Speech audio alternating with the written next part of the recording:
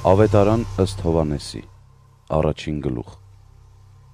Սկզբից էր բանը, եւ բանն Աստծո մոտ էր, եւ բանն Աստված էր։ and the Word was God. Նա սկզբից Աստծո մոտ էր։.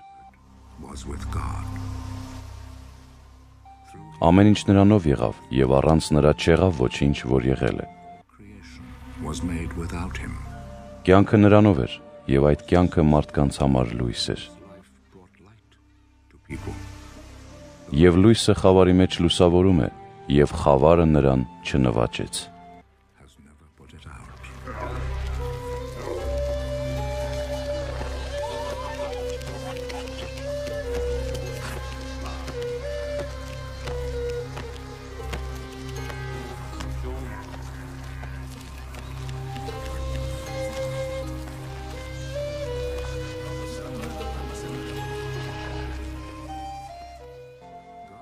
Կար մի մարդ Աստծուց ուղարկված։ Նրա անունը Հովանես։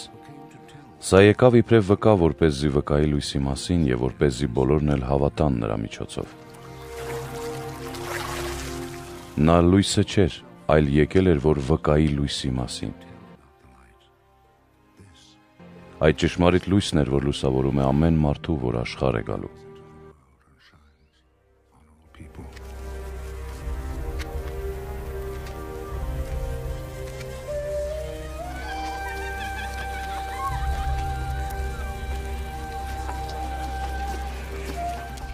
Նա աշխարհի մեջ էր, եւ աշխարհը նրանով արարվեց։ Սակայն աշխարհը նրան չճանաչեց։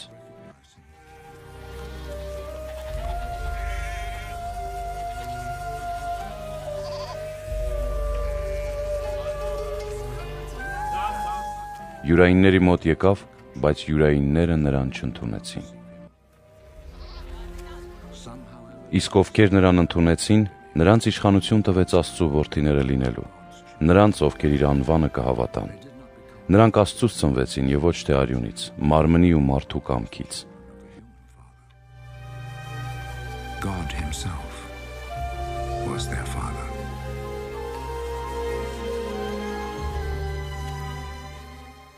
Եվ բանը մարմին դարձավ ու բնակվեց մեր մեջ, եւ տեսանք նրա փառքը, փառք, որ հայրն է տալիս միացնին,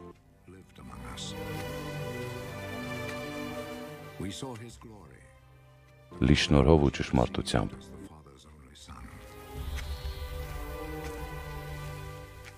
Հովանեսը վկայում էր նրա մասին, աղաղակում եւ ասում. Սա է, որի մասին ասացի, թե իմ հետևից էր գալու։ Ահա ինձնից ավելի մեծ եղավ, որովհետև ինձնից առաջ էր։ before I was born. out of the fullness Մենք բոլորս նրա լիությունից շնորհը շնորի վրա ստացանք, որովհետև օրենքը Մովսեսի միջոցով տրվեց, իսկ շնորհը եւ ճշմարտությունը Հիսուս Քրիստոսի միջոցով եղան։.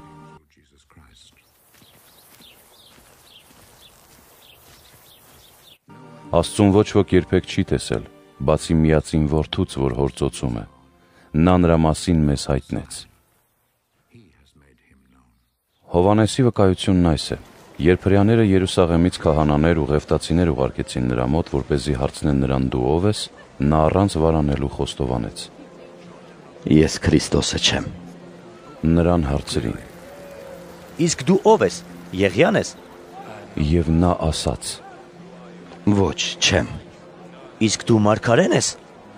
Հարցրին։ Նա պատասխանեց. Ոչ։ Իսկ ասամ ես, դու ով ես որպեսզի պատասխան տանենք մեզ ուղարկողներին։ Ինչ ես ասում քո մասին։ Նա ասաց. Ես անապատում կանչողի ձայն եմ։ Հարթեք Տիրոջ ճանապարհը։ Ինչպես ասաց Եսայի մարգարեն։ Եվ ուղարկվածները փարիսեցիների կողմից էին։ Սրանք հարցրին նրան ու ասացին. Իսկ դու ինչու ես մկրտում, եթե դու չես Քրիստոսը, ոչ էլ Եղիան եւ ոչ էլ Մարգարեն։ Հովանեսը պատասխան տվեց նրանց ու ասաց. Ես ձեզ մկրտում եմ ջրով։ Ձեր մեջ կա մեկը, որին դուք չեք ճանաչում, որ գալու է իմ հետևից եւ որի կոշիկների կապերն արցակելու իսկ արժանի չեմ ես։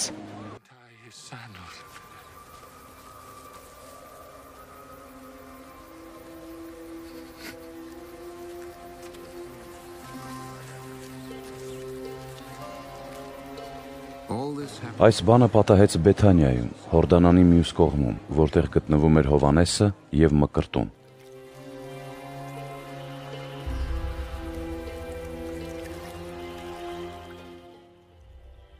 Հետևյալ օրը նա տեսավ դեպի իրեն եկող Հիսուսին ու ասաց.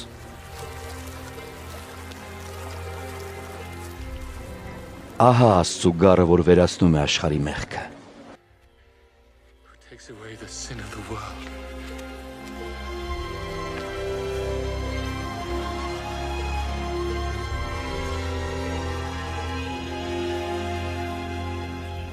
Սա է նա, որի մասին ասում էի, թե իմ հետևից է գալիս։ Մարդ, որը ինձնից մեծ եղավ, որովհետև ինձնից առաջ էլ կար։ Իսկ ես չէի ճանաչում նրան։ Բայց որ เป զի հայտնի լինի Իսրայելին, դրա համար եկա ջրով մկրտելու։ Հովանեսը վկայեց ու ասաց. Տեսնում էի հոգին, որ երկնքից աղավնու պես իջնում էր եւ հանգչում նրա վրա։ Իսկ ես չէի ճանաչում նրան։ Սակայն նա, ով ինձ ուղարկեց ջրով մկրտելու, ինձ ասաց. Ում վրա տեսնես, որ հոգին իջնում եւ մնում է, նա է, որ մկրտում է Սուրբ Հոգով։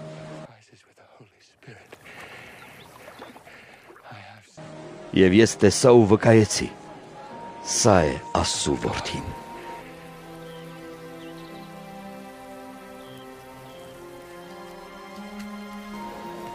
Հետևյալ օրը դարձյալ այնտեղ կանգնած էր Հովանեսը եւ իր հետ իր աշակերտներից երկուսը եւ նայելով Հիսուսին, որ գալիս էր, ասաց. Ահավասի Քրիստոսը, Աստծո գառը։ Երկու աշակերտները նրանից լսեցին, ինչ խոսեց եւ գնացին Հիսուսի հետևից։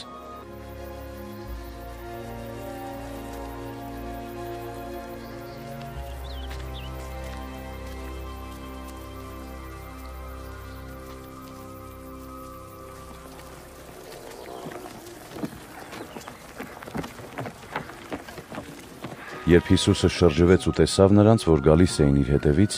ասաց նրանց. Ինչ եք փնտրում։ Նրանք ասացին նրան, Ռաբի, որ թարգմանաբար նշանակում է վարդապետ։ որտեղ է քո օթևանը։ Նա նրանց ասաց. Եկեք եւ տեսեք։ Եկան ու տեսան, թե որտեղ էր նրա օթևանը։ Այն օրը նրա մոտ գիշերեցին, որովհետև ժամը մոտ 10-ն էր։ Սիմոն Պետրոսի եղբայր Անդրեասը մեկն էր այն երկուսից, որոնք լսեցին Հովանեսին ու գնացին Հիսուսի հետևից։ Սանախ գտնում է իր եղբայր Սիմոնին ու նրան ասում. Գտանք Մեսիային։ որ թարգմանվում է Քրիստոս։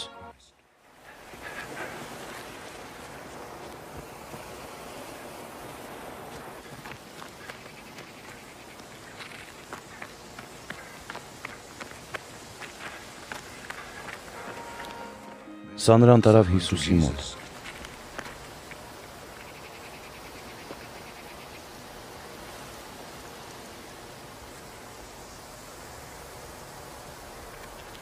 Նայելով նրան Հիսուսն ասաց.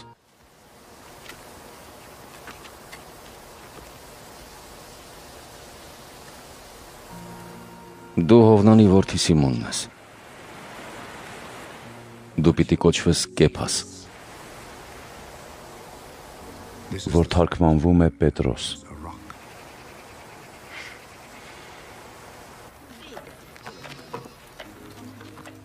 Հաջորդ օրը Հիսուս որոշեց Գալիլեա մեկնել։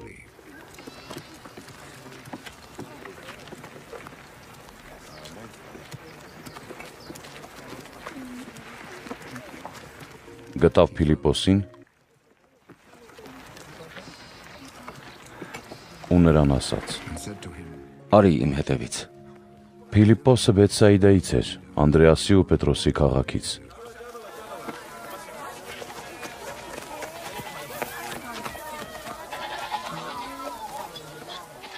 Փիլիպոսը գտավ Նաթանայելին ու նրան ասաց. Ում մասին Մովսեսն օրենքի մեջ եւ մարգարեները գրել էին, գտանք նրան, Հիսուսին, Հովսեփի որդուն Նազարեթ քաղաքից։ Իսկ հնարավոր է որ Նազարեթից որևիցե լավ բան դուրս գա։ Արի եւ տես։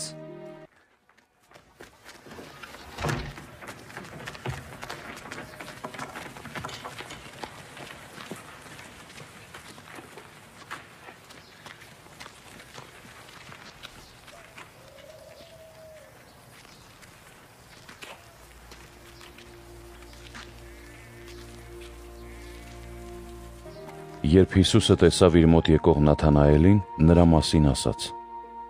Ահա իսկական մի իսրայելացի, որի մեջ նենգություն չկա։ Նաթանայելը նրան ասաց. Որտեղից ես ճանաչում ինձ։ Փիլիպոսը դեռ քեզ չկանչած, երբ թզենուտակ էիր, տեսա քեզ։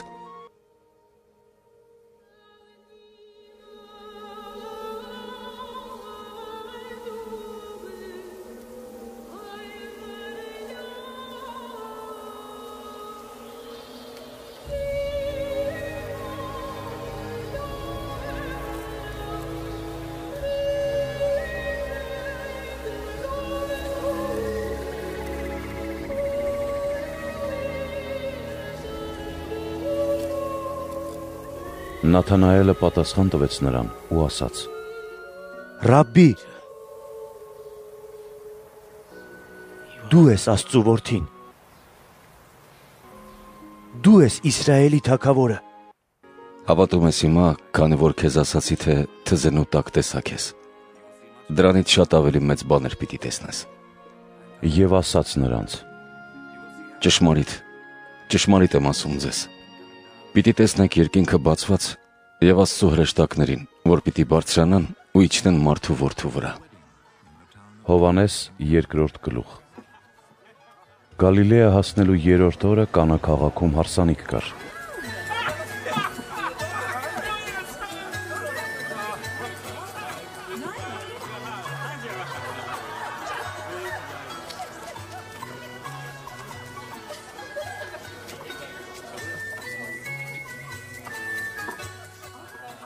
Հիսուսի մայրն այնտեղ էր։ Հարսանիքի հրավիրվեցին նաև Հիսուսը եւ իր աշակերտները։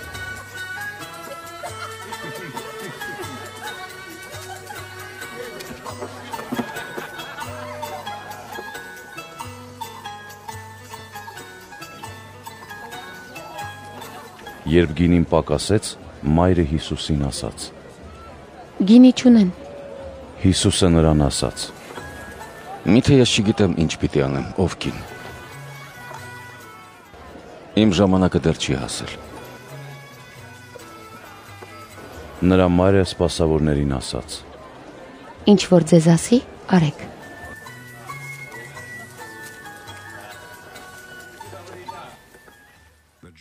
Այնտեղ կային քարե 6 թակույկներ հрьяաների սրբվելու սովորության համաձայն։ Նրանցից յուրաքանչյուրը շուրջ 100 լիտր տարողություն ուներ։ Հիսուսը նրանց ասաց. Այդ թակույկները լցրեք ջրով։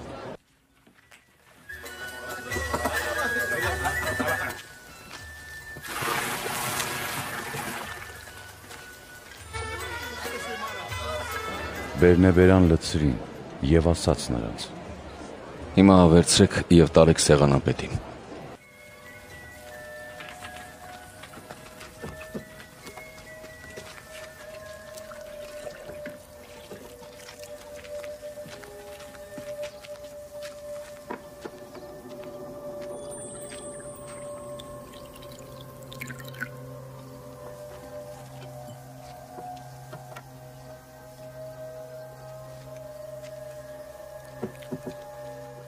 Եվ նրանք տարան։ Եվ երբ սեղանապետը ճաշակեց գինի դարձած ջուրը, չէր իմանում թե որտեղից է, բայց սպասավորները, որոնք ջուրը լցրին, գիտեին։ Խոսեց Փեսայի հետ ու ասաց. Ամեն մարդ նախ ընտիր գինին է մատուցում, եւ երբ հարբած են, այն ժամանակ վատը։ Իսկ դու ընտիր գինին մինչև հիմա պահել ես։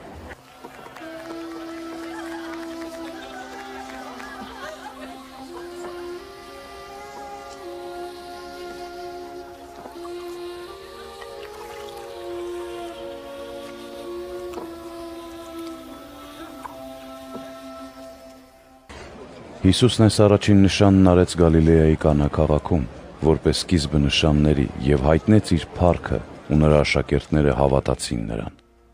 Սրանից հետո Հիսուսը Կափառնայում իջավ իր մոր եւ իր եղբայրների հետ եւ այնտեղ մնաց միայն մի քանի օր։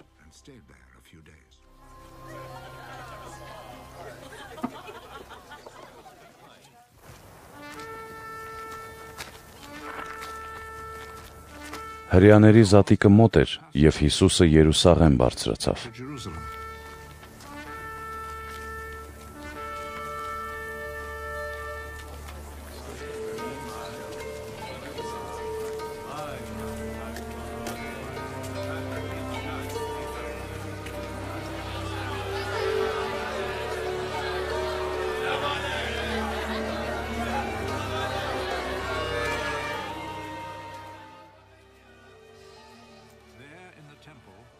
Եվ տաճարում հանկարծ տեսավ արջառներ, ոչխարներ ու աղավնիներ վաճառողների,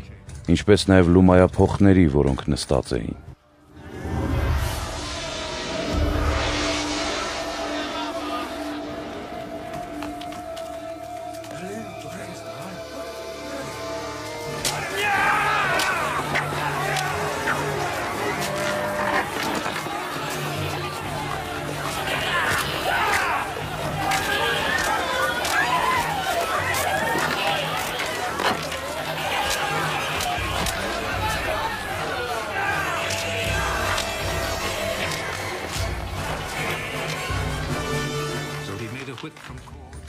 Եվ չվանից խարազան շինեց ու բոլորին տաճարից դուրս հանեց։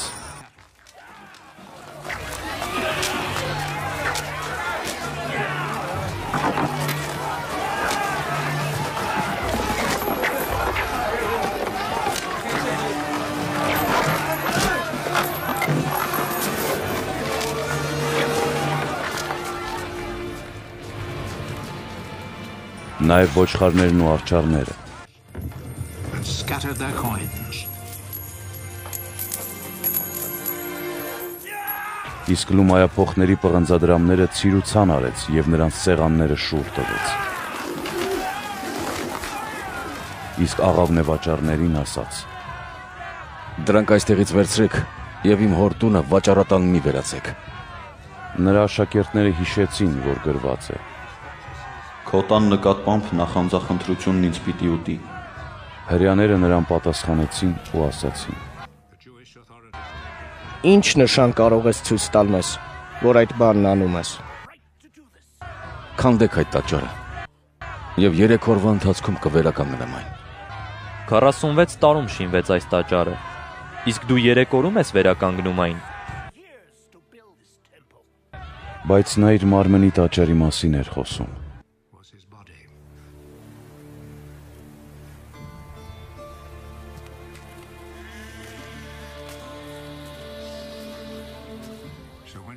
Իսկ երբ մեռելներից հարություն առավ, նրա աշակերտները հիշեցին, թե այս է որ ասել էր, եւ հավատացին Սուրբ գրքին ու Հիսուսի ասած խոսքին։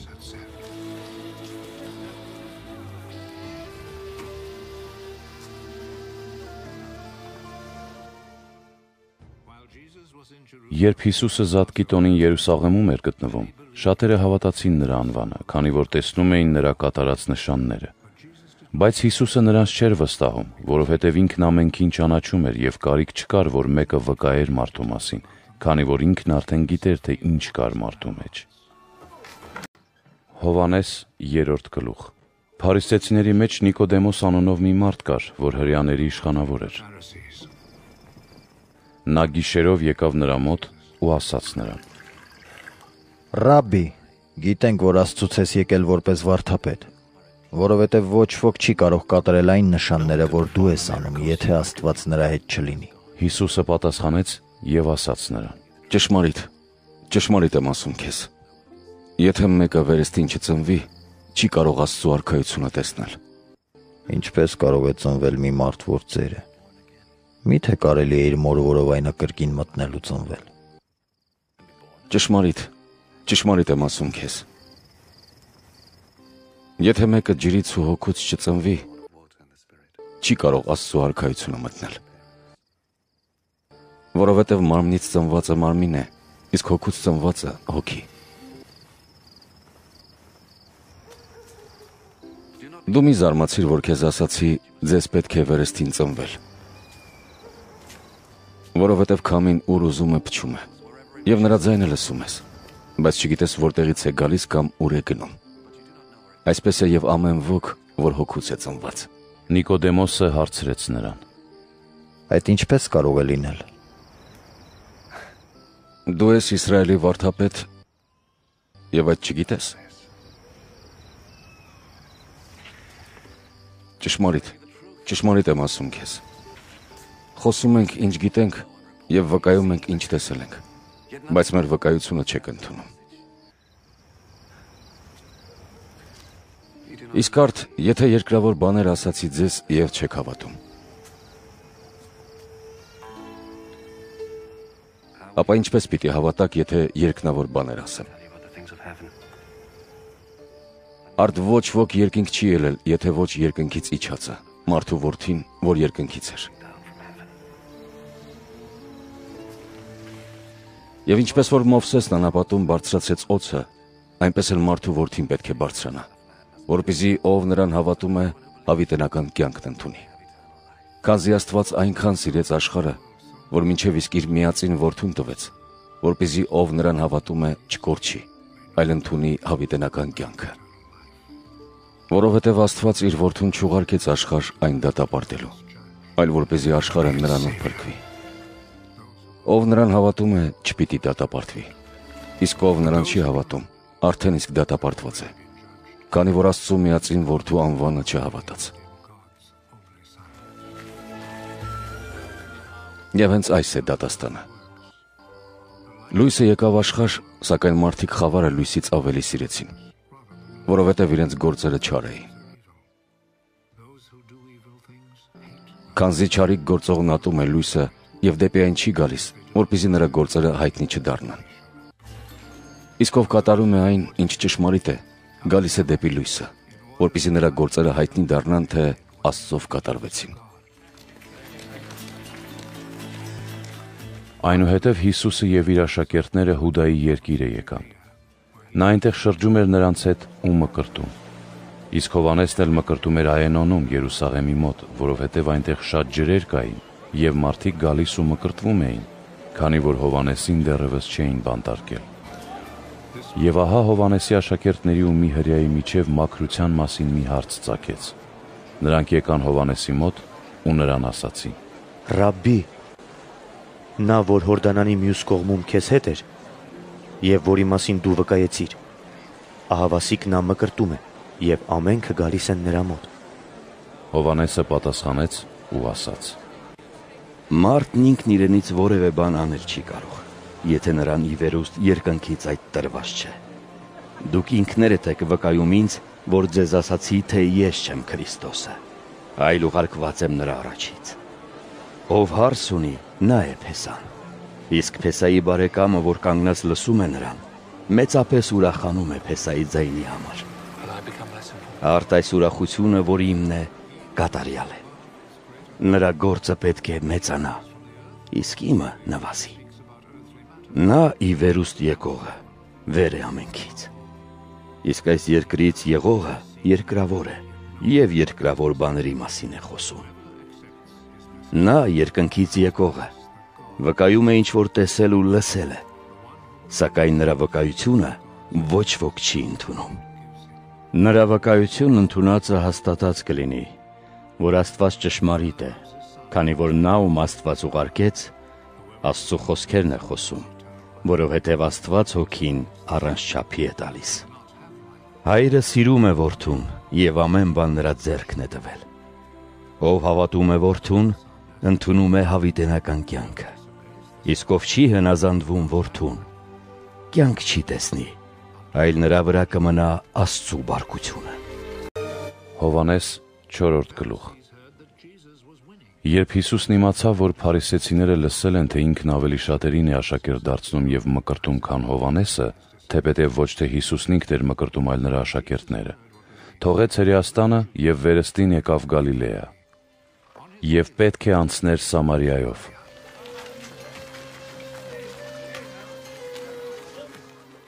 Եկավ Սամարիայի մի քաղաք, որի անունն էր Սյուքար, մոտիկ այն ագարակին, որ Հակոբը տվել էր իր որդուն Հովսեփին։ Այնտեղ էր Հակոբի աղբյուրը։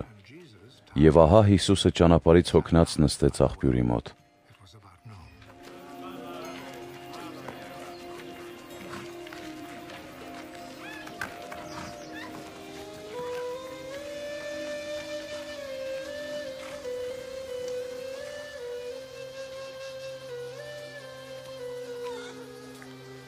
Կեսորին մոտ էր։ Սամարիայից մի կին եկավ ջուր հանելու։ Հիսուսը նրան ասաց. Ինձ խմելու ջուր դուր, քանի որ նրա աշակերտները գնացել էին քաղաք ուտելիք գնելու։ Դու որ հրյա ես, ինչպես ես ինձնից Սամարացի կնոջից խմելու ջուր ուզում։ Որովհետև հрьяաները Սամարացիների հետ երբեք չէին շփվում։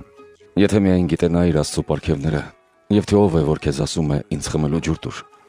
Գուցե դու ինքդ նրանից ուզեիր, եւ նա քեզ կենթանի ջուր կտար։ Տեր, սակայն դու անգամ դույլ չունես։ Իսկ այս ջրհորն էլ խորն է։ Ուրեմն կենթանի ջուր որտեղից կունենաս։ Միթե դու ավելի մեծ մեկն ես, քան մեր հայր Հակոբը,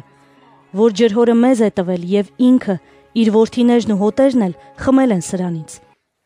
Ով այս ջրից խմի, նորից կծարավի։ Բայց ով խմի այն ջրից, որ ես եմ տալու նրան, հավիտյան չպիտի ծարավի։ Իսկ այն ջուրը, որ ես նրան տալու եմ, նրա մեջ կդառնա բխող ջրի աղբյուր հավիտենական կյանքի համար։ Կինն ասաց նրան. Տեր, դուր ինձ այդ ջուրը, որպեսզի չծարավեմ եւ այստեղ չգամ ջուր հանելու։ Հիսուսը նրան ասաց. Գնա, ամուսնուդ կանչիր եւ արի այստեղ։ Ամուսին չունեմ։ Լավ ասացիր, թե ամուսին չունեմ, որովհետև 5 մարդ ես փոխել։ Եվ նա, որին այժմ ունես, քո ամուսինը չէ։ Այդ ճիշտ ասացիր։ Տեր, ինձ թվում է, թե դու մարգարե ես։ Մեր հայրերն այս լեռան վրա երկրպագություն արեցին։ Իսկ դուք ասում եք, թե միայն Երուսաղեմն է այն տեղը, որտեղ արժան է երկրպագել։ Ով կին։ Հավատա ինձ, որ կգա ժամանակը, երբ ոչ այս լեռան վրա եւ ոչ էլ Երուսաղեմում կերկրպագեն հորը։ Դուք երկրպագում եք նրան, ում չգիտեք, իսկ մենք երկրպագում ենք նրան, ում գիտենք, որովհետև փրկությունը հրեաներից է։ Բայց կգա ժամանակը, եւ արդեն իսկ է, երբ ճշմարիտ երկրպագողները կերկրպագեն հորը հոգով եւ ճշմարտությամբ։ Քանի որ հայրն էլ իրեն այդպիսի երկրպագողներ ուզում։ Հոգի է Աստված։ Եվ նրան երկրպագողները պետք է հոգով ու ճշմարտությամբ երկրպագեն։ Կինն ասաց նրան. Գիտեմ, որ Մեսիան Քրիստոս անվանված պիտի գա։ Երբ գա, նա մեզ ամեն ինչ կպատմի։ Այդ ես եմ, որ խոսում եմ քեզ հետ։ Եվ այդ խոսքի վրա նրա աշակերտները եկան ու զարմանում էին, որ նա խոսում էր այդ կնոջ հետ։ Բայց նրանցից ոչ ոք չասաց, թե ինչ ես ուզում կամ ինչ ես խոսում դրա հետ։ Կինը թողեց իր սափորը եւ քաղաք գնաց ու ասաց մարդկանց.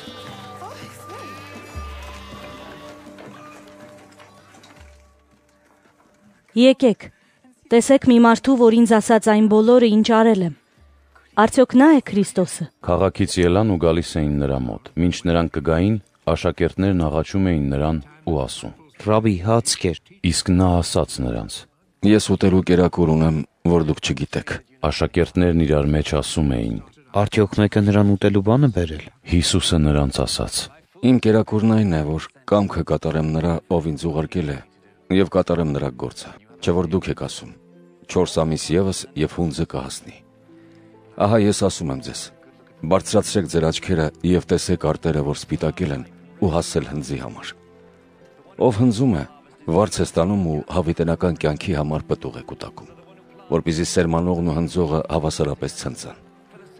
Քանզի հենց սրանով է ճշմարիտ այն խոսքը, թե այլ է սերմանողը եւ այլ հնձողը։ Ես ուղարկեցի ձեզ հնձելու այն, ինչը դուք չէիք ցանել։ Ուրիշներն աշխատանք թափեցին, իսկ դուք նրանց վաստակի մեջ մտաք։ Եվ սամարացիների այդ քաղաքից շատերը հավատացին նրան այն կնոջ խոսքի համար, որ վկայեց, թե ինձ ասած այն բոլորը, ինչ ես արել էի։ Իսկ երբ սամարացիները նրա մոտ եկան, աղաչում էին, որ իրենց մոտ մնա, եւ նա այնտեղ մնաց երկու օր։ Ուրիշ շատերն էլ նրան հավատացին իր խոսքի համար, եւ կնոջն ասում էին. Այսուհետև քո խոսքերի համար չէ, որ հավատում ենք, որովհետև մենք ինքներս լսեցինք նրանից եւ գիտենք, որ նա է ճշմարտապես փրկիչն աշխարհի։ Եվ երկու օր հետո նա ելավ այնտեղից եւ գնաց Գալիլեա։ Թեև Հիսուսն ինքն իսկ վկայել էր, թե Մարգարեն իր գավառում պատիվ չունի, բայց երբ Գալիլեա եկավ, Գալիլեացիները նրան ընդունեցին, որովհետև նրանք եւս տեսել էին այն բոլոր նշանները, որ նա արեց Երուսաղեմում տոնի օրը, քանի որ նրանք էլ էին եկել տոնին։ Հիսուսը դարձյալ եկավ Գալիլեայի Կանա քաղաքը, որտեղ ջուրը գինու էր վերածել, եւ այնտեղ էր մնում։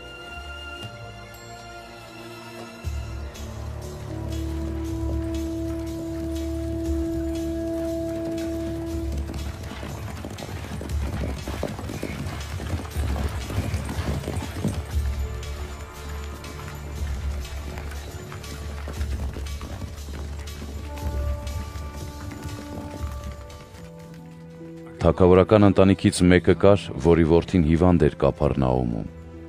Երբ նա լսեց, թե Հիսուսը Հրեաստանից Գալիլեա է եկել, եկավ նրա մոտ եւ աղաչում էր, որ Կափառնաում իջնի ու իր որդուն բժշկի, քանի որ մահամերձ էր։ Հիսուսը նրան ասաց. Մինչև որ նշաններ ու զարմանալի գործեր չեք տեսնում, չեք հավատում։ Տեր,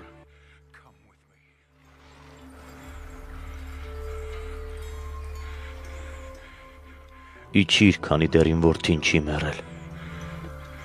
Հիսուսը նրան ասաց. Գնա։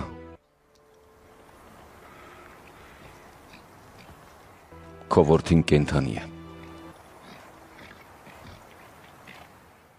Եվ մարդը հավատաց Հիսուսի ասած խոսքին ու գնաց։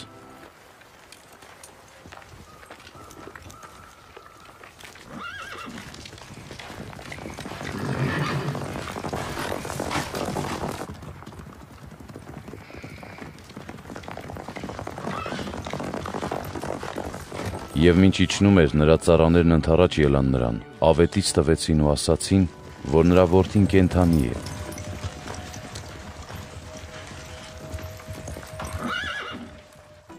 Նա հարցրեց նրանց, թե որ ժամին ապակինվեց։ Նրան ասացին. Երեք հետ միջօրեի ժամը 1-ին ջերմը նրան թողեց։ Հայրը հասկացավ, որ այդ ժամին էր, երբ Հիսուսը նրան ասաց. ժողովրդին կենթանի է։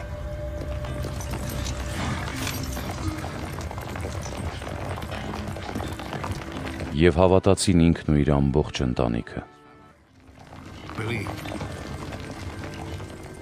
Այս դարձյալ երկրորդ նշանն էր, որ արեց Հիսուսը Հրեաստանից Գալիլեա գալուց հետո։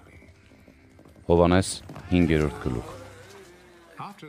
Դրանից հետո հрьяաների տոնն էր, եւ Հիսուսը Երուսաղեմ գնաց։ Եվ Երուսաղեմում ոչխարների ավազանի Պրոբատիկեի մուտքի մոտ մի տեղ կար, որ եբրայերեն անվանվում էր Բեթհեզդա, որ 5 սրահ ուներ։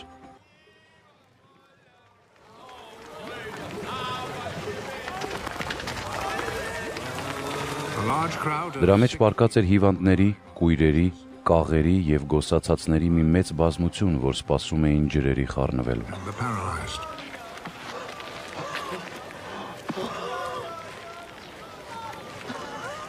Տիրոջ հրեշտակը ժամանակ առ ժամանակ իջնում էր ավազանն ու ջրերը խառնում։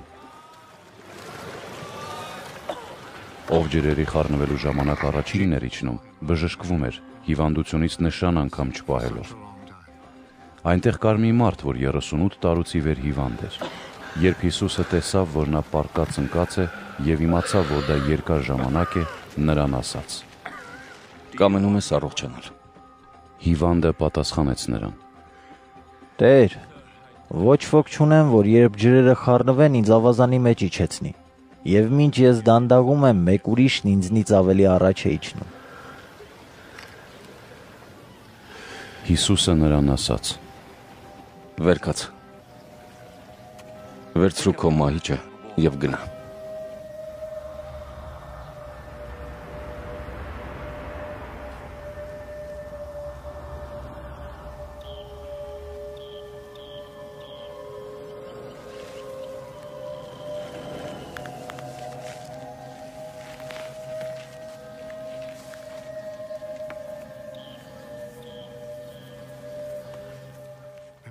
Եվ մարդն առողջացավ, վեր կացավ։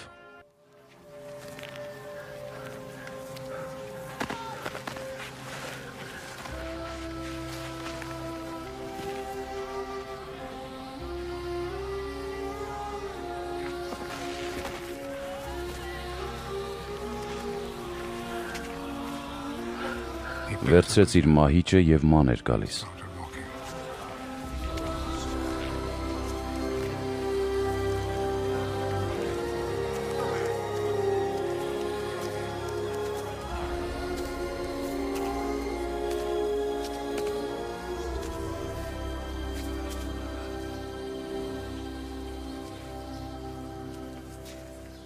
օրը շաբաթ էր։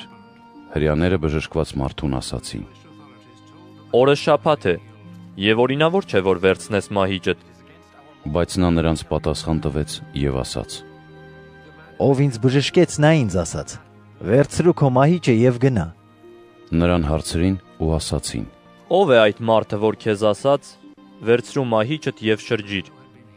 Բժշկվածը չգիտեր թե ով է նա, որովհետև Հիսուսն ամբողի պատճառով հեռացել էր այդտեղից։ Դրանից հետո Հիսուսը նրան գտավ տաճարում ու ասաց նրան. Ահավասիկ առողջացար։ Այլևս մի մեղանչիր, որպեսզի մի ավելի չար բան չպատահի քեզ։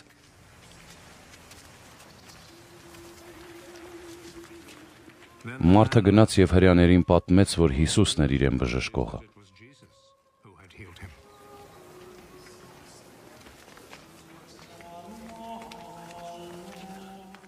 Հрьяները Հիսուսին հալածում էին նրա համար, որ շաբաթ օրով էր անում այդ։ Սակայն Հիսուսը պատասխանեց նրանց. Իմ հայրը մինչև այժմ գործում է։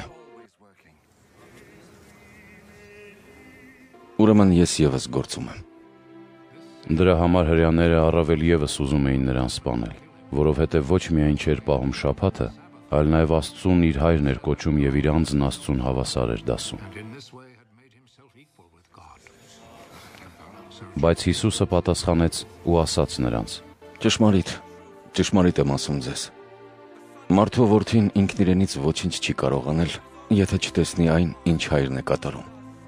Որովհետև ինչ որ հայրն է անում, նույնը նրա նման եւ որդին է գործում։ Քանզի հայրը սիրում է որդուն, եւ այն ամենը, ինչ ինքն է անում, ցույց է տալիս նրան։ Եվ նրան ցույց կտա սրանից շատ ավելի մեծ գործեր, որոնց վրա դուք կզարմանաք որովհետև ինչպես որ հայրը հարություն է տալիս մեռելներին եւ կենթանացնում, նույնպես եւ որդին կենթանացնում է ում կամենա։ Հայրը ոչ մեկին չի դատում, այլ ամեն դատաստան տվել է իր որդուն, որպեսզի ամենքը պատվեն որդուն, ինչպես պատվում են հորը։ Ով որդուն չի պատվում, չի պատվում եւ հորը, նրան ուղարկողին։ Ճշմարիտ, ճշմարիտ եմ ասում ձեզ։ Ով իմ խոսքը լսում է ու հավատում ինձ ուղարկողին, ընդունում է հավիտենական կյանքը եւ չի դատապարտվում, այլ մահվանից կյանքի է անցնում։ Ճշմարիտ, ճշմարիտ եմ ասում ձեզ, որ կգա ժամանակ եւ արդեն իսկ եկել է, երբ մեռելները կլսեն Աստծո որդու ձայնը, եւ ովքեր լսեն կապրեն, որովհետեւ ինչպես հայրը կյանքի աղբյուր է, նույնպես եւ որդուն դարձրեց կյանքի աղբյուր։ Եվ նրան իշխանություն տվեց դատաստան անելու, քանի որ մարդու որդին է։ Մի զարմացեք, որովհետև կգա ժամանակ, երբ բոլոր նրանք, որ գերեզմաններում կլինեն, կլսեն նրա ձայնը եւ դուրս կգան։ Բարի գործեր կատարածները հարություն կառնան կյանքի համար, իսկ չար գործեր արածները դատաստանի համար։ Ես ինքս ինձնից ոչինչ անել չեմ կարող, այլ դատում եմ ինչպես լսում եմ, եւ իմ դատաստանն արդար է, որովհետեւ ոչ թե իմ կամքն եմ փնտրում, այլ նրա կամքը, ով ինձ ուղարկեց։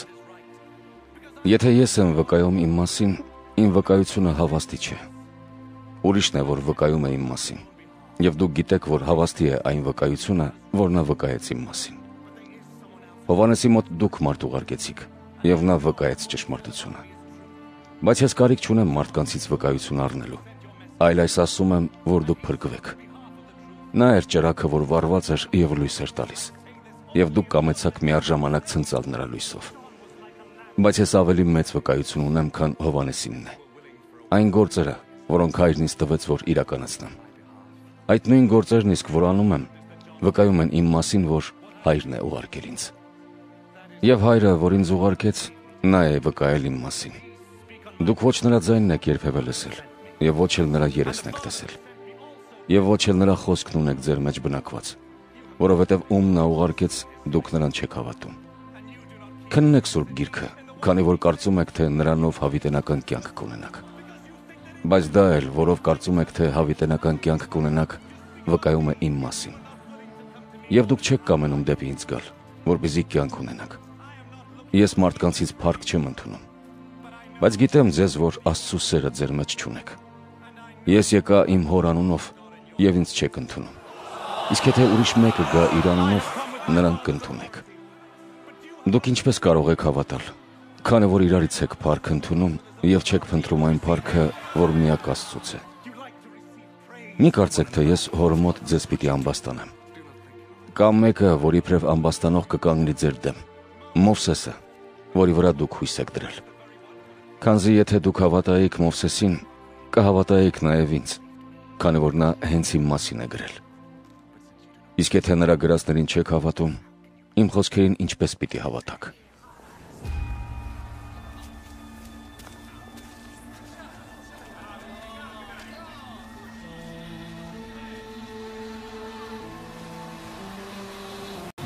Հովանես 6-րդ գլուխ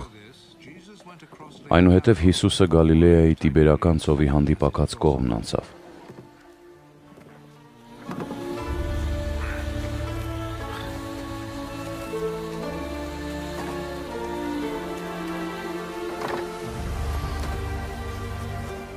Նրա հետևից բազում ժողովուրդ էր գնում, որովհետև տեսնում էին այն նշանները, որ նա կատարում էր հիվանդների վրա։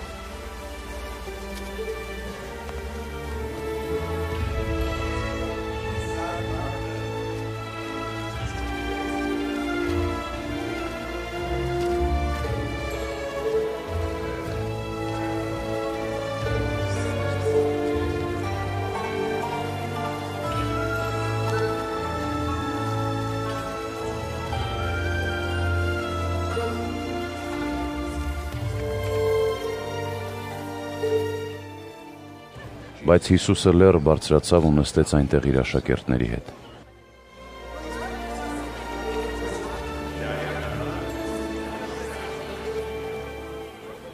Մոտ էր զատիկը, հрьяաների տոնը։ Հիսուսն իր աչքերը վեր բարձրացրեց եւ տեսնելով, որ բազում ժողովուրդ է գալիս իր մոտ, Ֆիլիպոսին ասաց.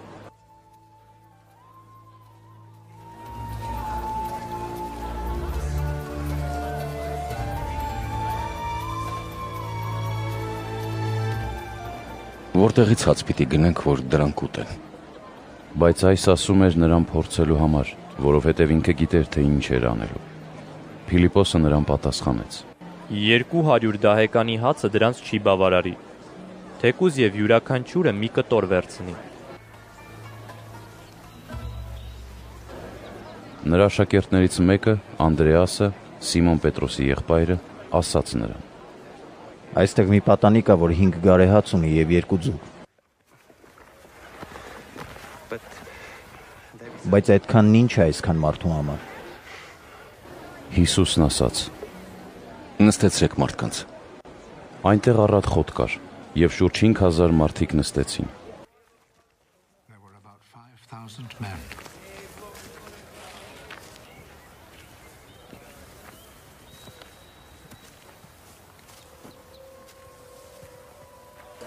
Հիսուսը հացը վերցրեց, գոհություն հայտնեց Աստծուն,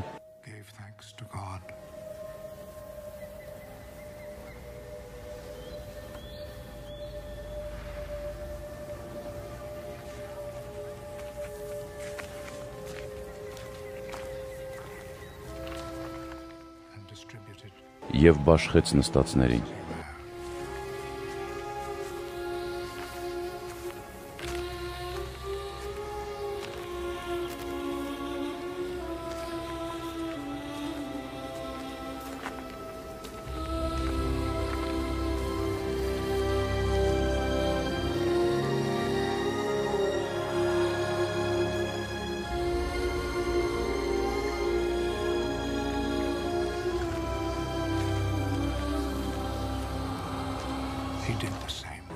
Նույն ձևով եւ ձկներից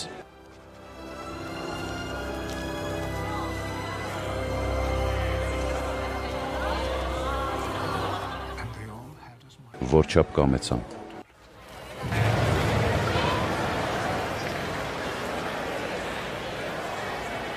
Եվ երբ կշտացան, աշակերտներին ասաց. Հավաքեք այդ մնացած կտորները,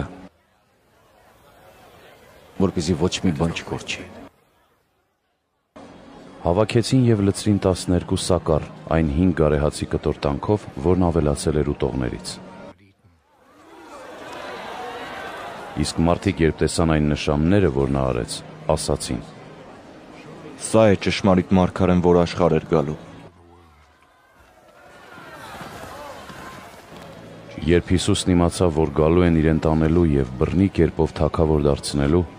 կրկին միայն նակ դեպի լեռը գնաց։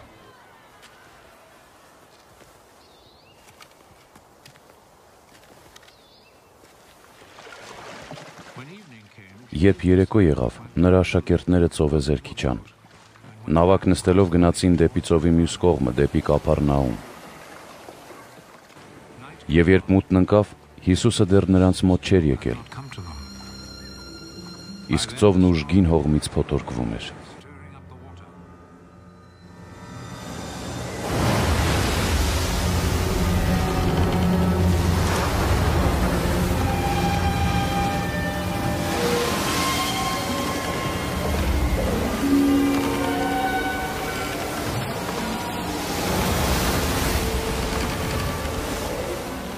Շուրջ 25 կամ 30 ասպարեզ թիավարելուց հետո տեսան ծովի վրայով քայլող Հիսուսին։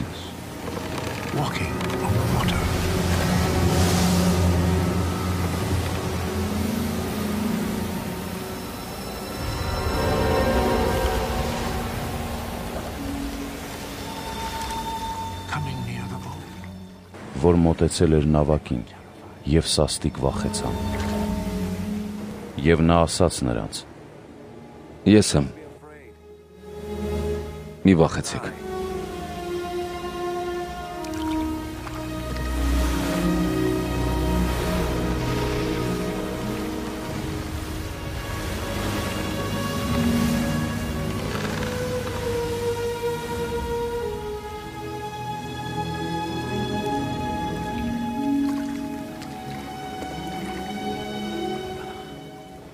Եվ ուզում էին նավակ հանել նրան։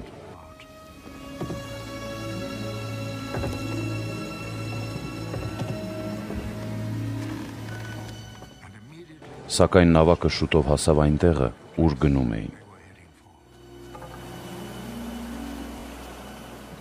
Հաջորդ օրը ժողովուրդը, որ մնացել էր ծովի այն կողմը, տեսավ, որ այնտեղ այլ նավակ չկա, բացի մեկից, որի մեջ մտել էին Հիսուսի աշակերտները։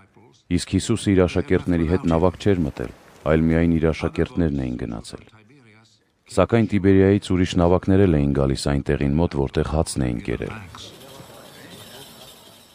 Երբ ժողովուրդը տեսավ, որ Հիսուսն այդտեղ չէ եւ ոչ էլ նրա աշակերտները, նավակներն առան ու եկան Կափառնաում Հիսուսին փնտրելու։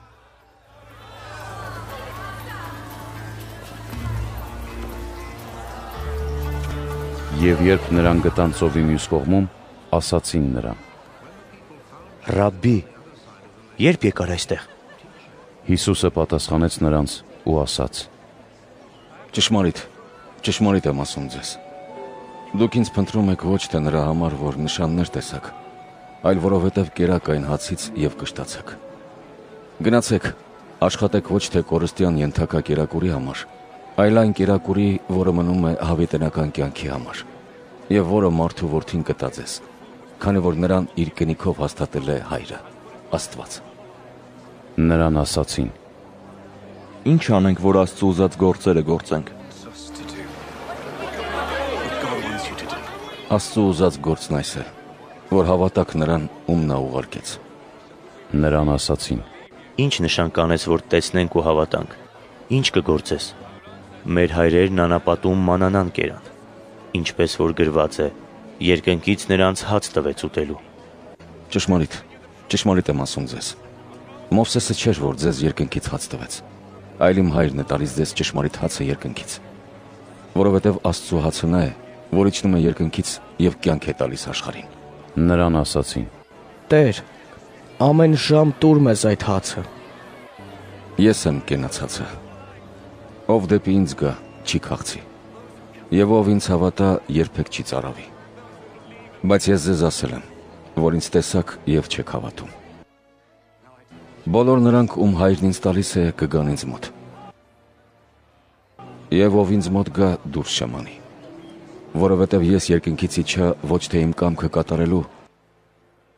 այլ կամքը նրա, ով ինձ ուղարկեց։ Այս է կամքը իմ հոր, որ ինձ ուղարկեց որպեսզի բոլոր նրանցից, ում հայրն ինձ է տվել, ոչ մեկին չկորցնեմ, այլ վերջին օրը հարություն առնել տամ նրանց։ Քանզի այս է իմ հոր կամքը։ Ամեն ոք, ով տեսնի որդուն եւ հավատա նրան, հավիտենական կյանք կունենա։ Եվ ես նրան վերջին օրը հարություն առնել կտամ։ Իսկ հрьяաները տրտնջում էին նրանից, որովհետև ասել էր ես եմ երկնքից իջած հացը, եւ ասում էին. I am the bread that came down Սա Հիսուսը, Հովսեփի որդին չէ, որի հորն ու մորը մենք ճանաչում ենք։.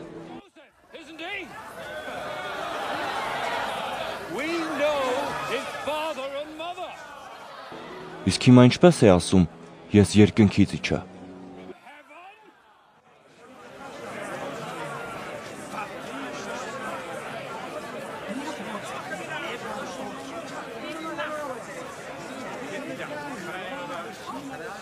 Հիսուսը պատասխանեց ու ասաց նրանց. Իրար մեջ մի քրտնջացեք։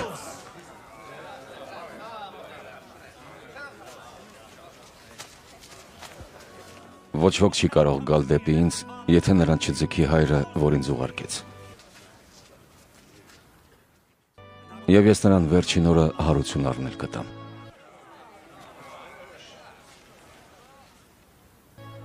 Մարգարեների գրքերում գրված է. Եվ ամենքն Աստծուց ուսանած կլինեն։ Ամեն ոք, որ լսում է հորից եւ սովորում, գալիս է դեպի ինձ։ Սակայն ոչ ոք հորը չի տեսել։ Այլ միայն նա, ով Աստծուց է։ Նա է տեսել հորը։ Ճշմարիտ, ճշմարիտ եմ ասում ձեզ։ Ով հավատում է, հավիտենական կյանք է ունենում։ Ես եմ կենացածը։ Ձեր հայրերը անապատում մանանան կերան, սակայն մեռան։ Այս է երկնքից իջած հացը, որպեսզի ով սրանից ուտի չմեռնի։ Ես եմ կենթանի հացը, որ երկնքից է իջել։ Եթե մեկն այս հացից ուտի, հավիտյան կապրի։ Եվ այն հացը, որ ես կտամ, իմ մարմինն է, որ ես տալու եմ աշխարհի կյանքի համար։ Բայց հрьяաներն իրար հետ բուրըն կերպով վիճում էին եւ ասում. Սա ինչպես կարող է իր մարմինը մեզ տալ ուտելու։ Ճշմարիտ, ճշմարիտ եմ ասում ձեզ։ Եթե չուտեք մարդու որդու մարմինը եւ չմփեք նրա արյունը, ձեր մեջ կյանք չեք ունենա։ Ով ուտում է իմ մարմինը եւ ըմպում իմ արյունը, հավիտենական կյանք ունի։ Եվ ես նրան վերջին օրը հարություն կտամ։ Քանի որ իմ մարմինը ճշմարիտ կերակուր է եւ իմ արյունը ճշմարիտ ըմպելիք։ Ով ուտում է իմ մարմինը եւ ըմպում իմ արյունը, կմնակվի իմ մեջ եւ ես էլ նրա մեջ։ Ինչպես կենթանի հայրն առաքեց ինձ, եւ ես ապրում եմ հոր միջոցով, այնպես էլ ինձ ուտողը կապրի ինձանով։ Այս է երկնքից իջած հացը։ Ոչ այնպես, ինչպես մանանան, որը ձեր հայրերը կերան եւ մեռան։ Այլ ով այս հացն ուտում է, կապրի հավիտյան։ Նա այս բաներն ասաց Կափառնաումի մեջ ժողովարանում ուսուցանելիս։ Եվ աշակերտներից շատերը, երբ լսեցին, ասացին. Խիստ է այդ խոսքը։ Ով կարող է այն լսել։ Հիսուսը երբ ինքն իր մեջ իմացավ, որ իր աշակերտները դրա համար տրտնջում են, նրանց ասաց. Դա ձեզ գայթակղեցնում է։ Իսկ արդ եթե տեսնեք մարդու որդուն բարձրանալիս այնտեղ, որտեղ առաջ էր։. Հոգին է կենթանարար։ մարմինը ոչ մի բան չի կարող անել։ Այն խոսքը, որ ես ձեզ ասացի, հոգի է եւ կյանք։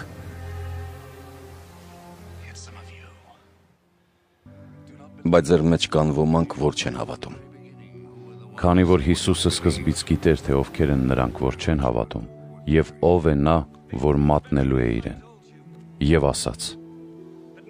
Դրա համար ձեզ ասացի, թե ոչ ոք չի կարող գալ դեպի ինձ, եթե դա իմ հորից տրված չէ նրան։ Սրանից նրա աշակերտներից շատերը հետ քաշվեցին եւ այլևս նրա հետ չէին շրջում։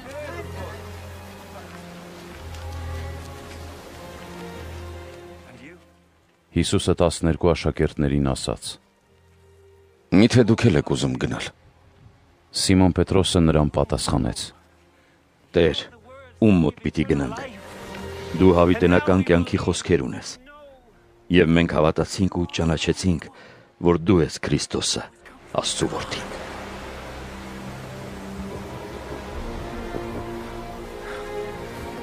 Հիսուսը նրանց պատասխանեց. Չէ որ ես եմ ընտրել ձեզ 12-ից։ եւ ձեզանից մեկը Սատանա է։ Նա խոսում էր Սիմոնի որդի Հուդա Իսկարիովտացու մասին, որովհետև հենց նա էր մատնելու նրան, եւ նա 12-ից մեկն էր։ Հովանես 7-րդ գլուխ։ Դրանից հետո Հիսուսը շրջում էր Գալիլեայում, քանի որ չէր կամենում Հրեաստանում շրջել, որովհետև հրեա առաջնորդներն ուզում էին սպանել նրան։ Հրեաների տաղավարահարած տոնը մոտ էր, եւ նրա եղբայրներն ասացին նրան. Այստեղից անցիր գնա Հրեաստան, որ เป զի քո աշակերտներն էլ տեսնեն այն գործերը, որ դու անում ես։ Որովհետև չկա մեկը, որ ծածուկ գործի եւ ուզենա, որ մարդիկ իմանան այդ մասին։ Եթե այդ գործերն անում ես, ուրեմն հայտնիր քեզ աշխարհին։ Քանզի եղբայրներն իսկ դեռևս չէին հավատացել նրան։ Իմ ժամանակը դեռ չի հասել, բայց ձեր ժամանակը միշտ պատրաստ է։ Աշխարհը չի կարող ատել ձեզ, բայց ինձ ատում է, որովհետև ես վկայում եմ աշխարհի մասին, թե նրա գործերը չար են։ Դուք գնացեք այդ տոնին։ Ես այդ տոնին չեմ գնում, որովհետև իմ ժամանակը դեռ չի լրացել։ Երբ այս ասաց, ինքը մնաց այնտեղ, Գալիլեայում։ Երբ նրա եղբայրները գնացին, ապա ինքն էլ գնաց տոնին, բայց ոչ հայտնապես, այլ թաքուն։ Հрьяաները նրան փնտրում էին այդ տոնի ժամանակ եւ ասում էին. Ո՞ւր է նա։ Եվ ժողովրդի մեջ նրա մասին քրտմնջյուն կար։ Ոմանք ասում էին. Լավն է։ Ուրիշներն ասում էին. Ոչ, ընդհակառակը, ժողովրդին մոլորեցնում է։ Եվ հрьяաների վախի պատճառով ոչ ոք նրա մասին համարցակ չէր խոսում։ Տոնակատարության կեսին Հիսուսը տաճար ելավ եւ ուսուցանում էր։ Հрьяաները զարմանում էին ու ասում. Սա ինչպես գիտի Սուրբ Գիրքը, քանի որ բնավ չի սովորել։ Հիսուսը նրանց պատասխան տվեց ու ասաց. Իմ ուսուցումն իմը չէ, այլ նրանը, ով ինձ ուղարկեց։ Եթե մեկն ուզում է նրա կամքը կատարել, կիմանա այս ուսուցման մասին։ Աստծուց է արդյոք, թե ես ինքս ինձնից եմ խոսում։ Ով ինքն իրենից է խոսում, իր համար է փառք փնտրում։ Իսկ ով փնտրում է նրա փառքը, ով իրեն ուղարկել է, նա ճշմարիտ է, եւ նրա մեջ սուտ բան չկա։ Օրենքը ձեզ Մովսեսը չտվեց, բայց ձեզնից ոչ ոք օրենքը չի կատարում։ Ինչու եք ուզում ինձ սպանել։ Քո մեջ դև կա։ Ով է ուզում քեզ սպանել։ Մի գործ արեցի եւ ահա ամենքը զարմացել եք։ Մովսեսը դրա համար ձեզ տվեց թլպատությունը, թեև այդ ոչ թե Մովսեսից էր, այլ նահապետներից։ Եվ շփաթորով մարդ եք թլպատում։ Իսկ արդ, եթե մարդը Մովսեսի օրենքը պահելու համար նույնիսկ շփաթորով է թլպատվում, ին վրա ինչու եք բարկացած, որ շփաթորով լիովին բժշկեցի մի մարդու։ Ըստ տեսածի մի դատեք, այլ արդար դատաստան արեք։ Երուսաղեմացիներից ոմանք ասում էին. Սա չէ նա, որին ուզում էին սպանել։ Բայց ահա բացահայտորեն խոսում է եւ դրան բան չեն ասում։ Գուցե իշխանավորները ճանաչեցին, որ սա է Քրիստոսը։ Բայց մենք գիտենք, թե սա որտեղից է։ Իսկ երբ Քրիստոսը գա, ոչ ոք չի իմանա որտեղից է։ Հիսուսը տաճարում աղաղակեց, ուսուցանում էր եւ ասում. Եվ ինձ գիտեք, եւ գիտեք որտեղից եմ։ Ինքս ինձ չեմ եկել։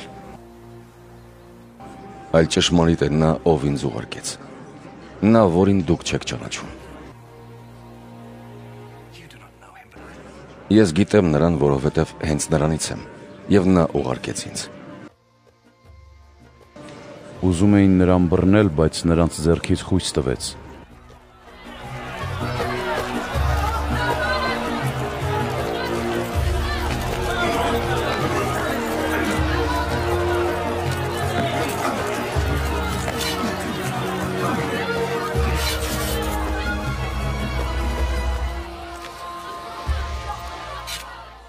Եվ ոչ ոք նրան չձերբակալեց, որովհետև նրա ժամանակը դեռ չէր հասել։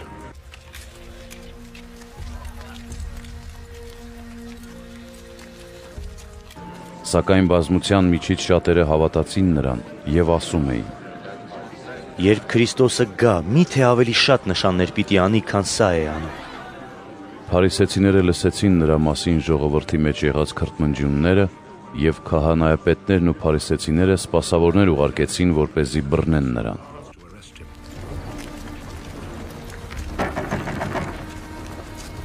Հիսուսն ասաց. Մի փոքր ժամանակ էլ ձեզ հետ եմ։ Եվ ապա գնալու եմ նրա մոտ, ով ինձ ուղարկեց։ Ինձ կփնտրեք եւ չեք գտնի։ Եվ ուր ես եմ գնում, դուք չեք կարող գալ։ Հրեա առաջնորդներն իրար ասում էին իսկ դա ուր պիտի գնա, որ մենք դրան չգտնենք։ Միթե հեթանոսների մեջ ծրված հрьяաների մոտ պիտի գնա եւ հեթանոսներին ուսուցանի։ Ինչ է այն խոսքը, որ նա ասաց. Կփնտրեք ինձ եւ չեք գտնի, եւ ուր ես եմ գնում։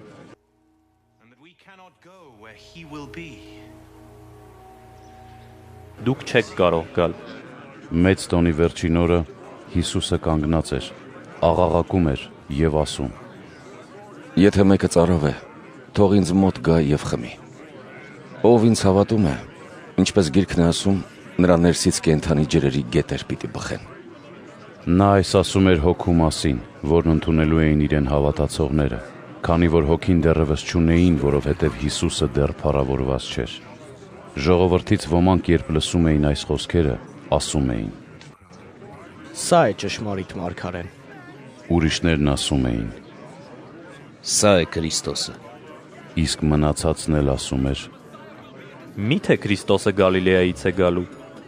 Չէ որ գիրքն ասում է, որ Քրիստոսը գալու է Դավթի սերնդից եւ Բեթխեհեմ գյուղից, որտեղից Դավիթն էր։ Եվ ժողովրդի մեջ նրա պատճառով պարակտում առաջացավ։ Եվ նրանցից ոմանք ուզեցին բռնել նրան, բայց ոչ ոք նրան չձերբակալեց։ Երբ սպասավորները վերադարձան քահանայապետների ու փարիսեցիների մոտ, սրանք նրանց ասացին. Ինչու նրան այստեղ չբերեցիք։ Ոչ մի մարդ երբեք այդպես չի խոսել, ինչպես այն մարդը։ Փարիսեցիներն ասացին. Միթե դուք եք մոլորվել։ Միթե Սինեդրիոնի անդամներից կամ Փարիսեցիներից որևէ մեկը հավատաց նրան։ Բացի այն խաժամուժ ամբողից, որ օրենքը չգիտի եւ նզովյալ է։ Նիկոդեմոսը, որ նախապես գիշերով եկել էր Հիսուսի մոտ եւ նրանցից մեկն էր, նրանց ասաց. Միթե մեր օրենքը դատապարտում է մարդուն, եթե նախապես նրան չի լսում կամ չգիտի թե ինչ է արել նա։ Միթե դու էլ Գալիլեայից ես։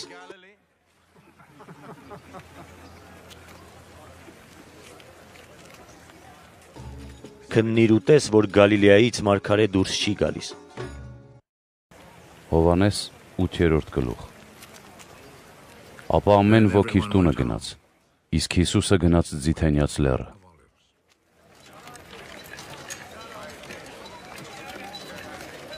Արավոտյան նորից տաճար եկավ։ Ամբողջ ժողովուրդը նրա մոտ էր գալիս, եւ նա ուսուցանում էր նրանց։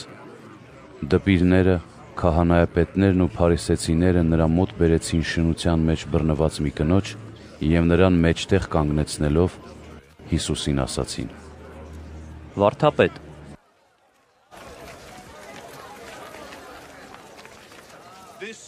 Հանցանքի մեջ բռնված այս կինը հաստատ շնացել է։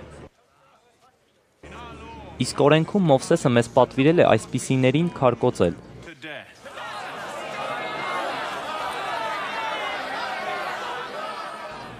Հիմա դու դրա մասին ինչ ես ասում։ Նրանք այս ասում էին նրան փորձելու համար, որ เป զի նրան ամբաստանելու պատճառ ունենան։ Իսկ Հիսուսը ցած նայելով մատով գետնի վրա գրում էր.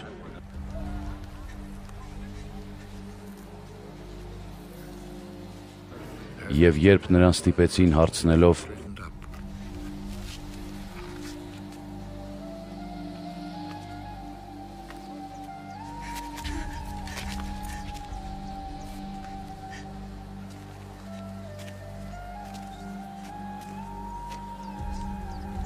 վեր նայեց ու նրանց ասաց. Ձեր միջից անմեղը նախ թող քար գցի դրա վրա։ Եվ դարձյալ ցած նայելով գետնի վրա գրում էր.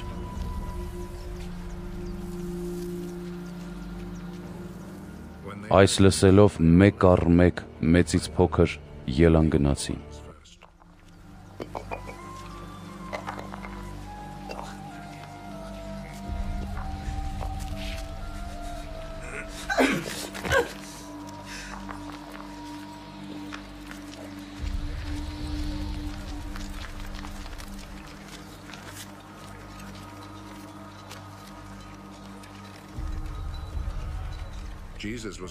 Մնացին միայն Հիսուսն ու նրա առաջ կանգնած կինը։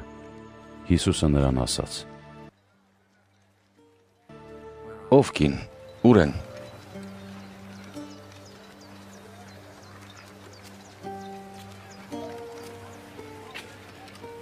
Քեզ ոչ ոք չդատապարտեց։ Ոչ, Տեր։ Հիսուսն ասաց.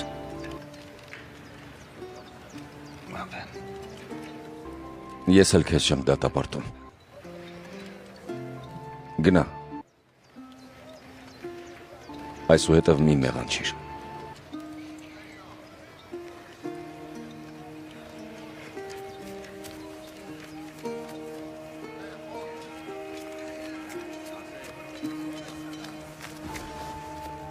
Հիսուսը կրկին խոսեց ժողովրդի հետ ու ասաց.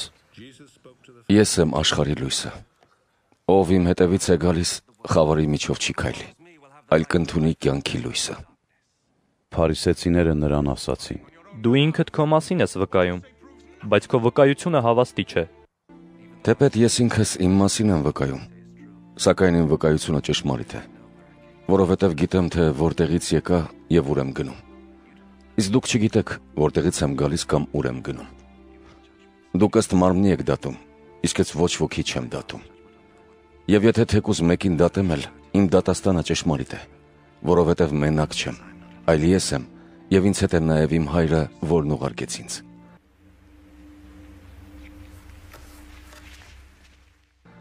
Եվ ձեր օրենքում իսկ գրված է, թե երկու մարդու վկայությունը ճշմարիտ է։ Ես ինքս եմ վկայում իմ մասին, եւ իմ մասին վկայում է հայրը, որ ուղարկեց ինձ։ Որտեղ է քո հայրը։ Ոչինչ եք ճանաչում եւ ոչ էլ իմ հորը։ Եթե ինձ ճանաչեիք, թերևս իմ հորն էլ կճանաչեիք։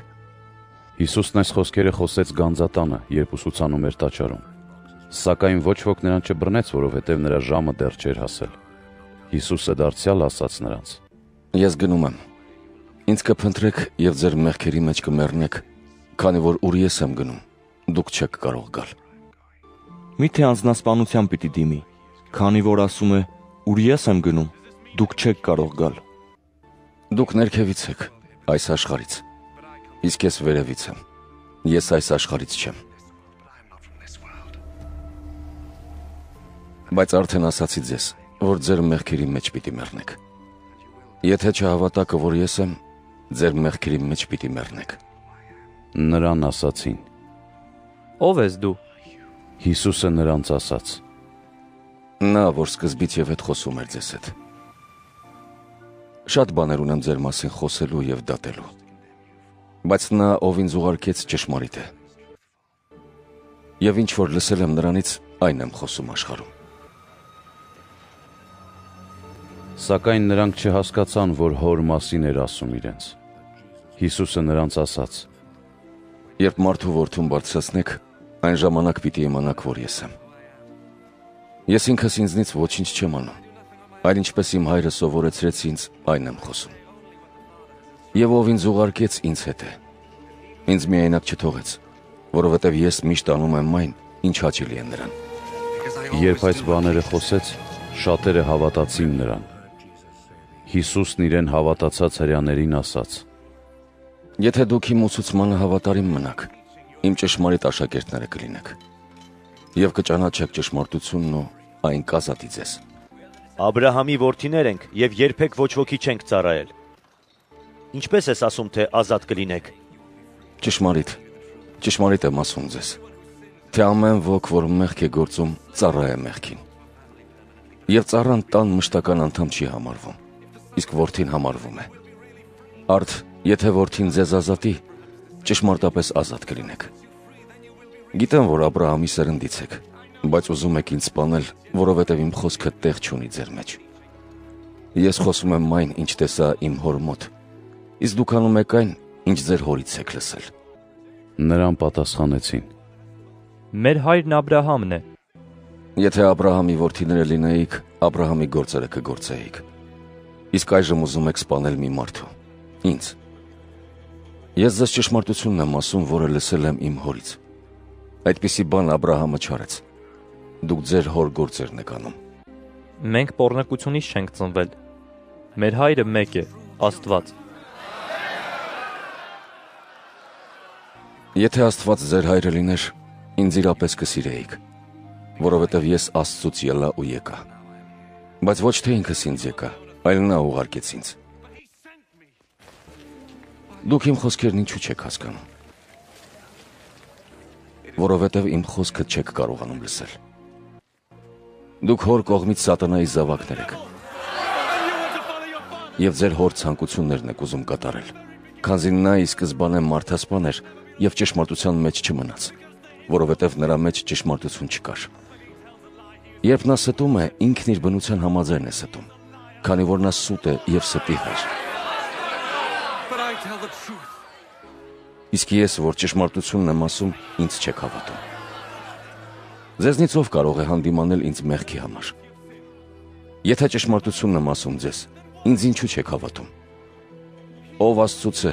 Աստծու խոսքերն է լսում։ Իսկ դուք չեք լսում այն պատճառով, որ Աստծուց չեք։ Մենք ճիշտ չենք, երբ ասում ենք, թե սամարացի ես դու եւ քո մեջ դև կա։ Հիսուսը պատասխանեց. Իմ մեջ դև չկա, այլ պատվում եմ իմ հորը։ Իսկ դուք անարգում եք ինձ։ Ես իմ փառքը չեմ փնտրում, բայց կա մեկը, որ այն փնտրում է ու դատում։ Ճշմարիտ, ճշմարիտ եմ ասում ձեզ։ Եթե մեկն իմ խոսքը պահի, մահ չի տեսնի հավիտյան։ Այժմ իմացանք, որ քո մեջ դև կա։ Աբ รา համը մեռավ, նաև մարգարեները։ Իսկ դու ասում ես, ով իմ խոսքը պահի, հավիտյան մահ չի ճաշակի։ Միթե դու ավելի մեծ ես, քան մեր հայրը Աբ รา համը, որ մեռավ։ Մեռան նաև մարգարեները։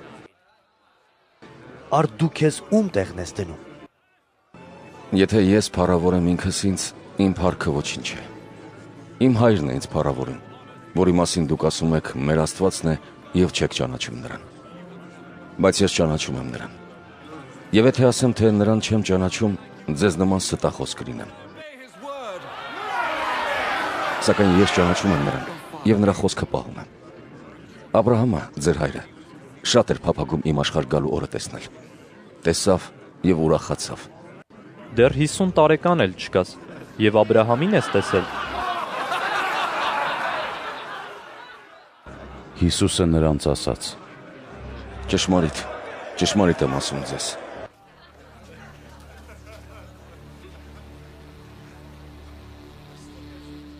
Ես կամ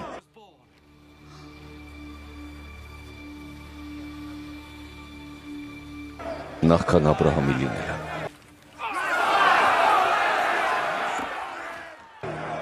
Նրանք քարեր վերցրին, որ նետեն նրա վրա,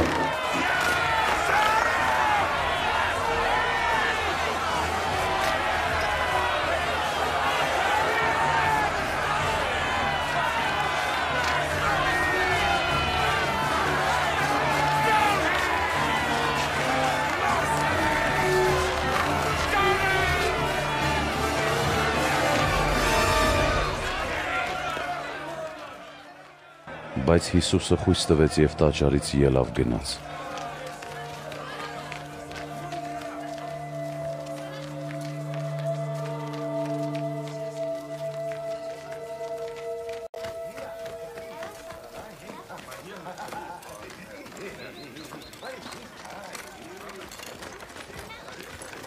Հովանես 9-րդ գլուխ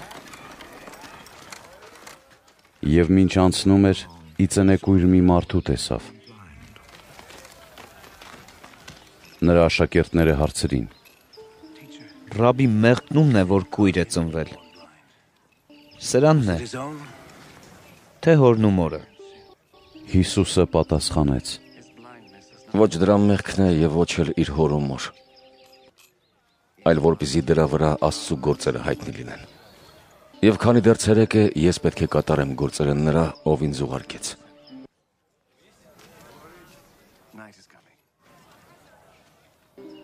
Կգա գիշերը, երբ ոչ ոք չի կարող գործել։ Քանի դեռ աշխարհում եմ, աշխարհի լույսն եմ։ for the world.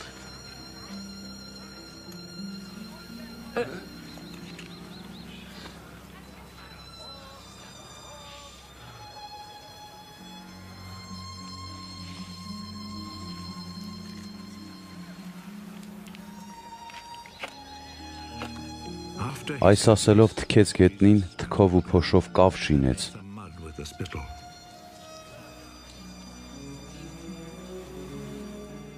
Կավը ծեփեց կույրի աչքերին,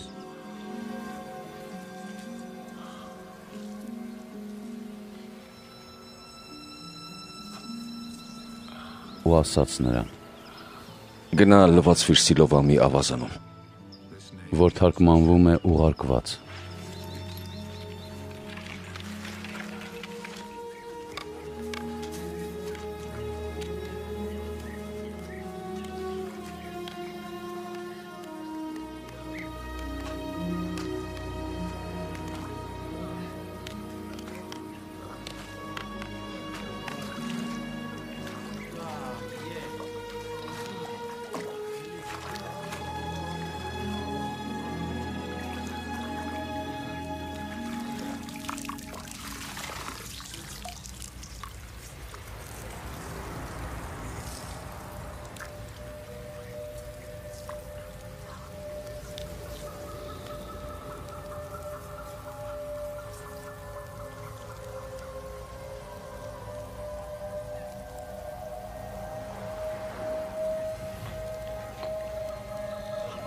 Գնաց լվացվեց, եկավ եւ տեսնում էր։ Իսկ հարևանները եւ նրանք, որ նախապես տեսել էին նրան, որ մուրացիկ էր, ասում էին. Սա չէր որ նստում էր եւ մուրում։ Ոմանք ասում էին նա է, ուրիշները ասում էին ոչ, այլ պարզապես նման է նրան։ Իսկ ինքն ասում էր ես եմ։ Նրան ասացին. Իսկ ինչպես բացվեցին աչքերդ։ Նա պատասխանեց. Հիսուս անունով մի մարդ կավ շինեց։ Աչքերս ծեփեց ու ինձ ասաց. Գնա Սիլովամ եւ լվացվիր։ Գնացի լվացվեցի եւ տեսնում եմ։ Նրան ասացին. Ուր է նա։ Նրանց ասած չգիտեմ։ Նրան, որ մի ժամանակ կույր էր, բերեցին փարիսեցիների մոտ։ Օրը շաբաթ էր, երբ Հիսուսը կավ շինեց եւ կույրի աչքերը բացեց։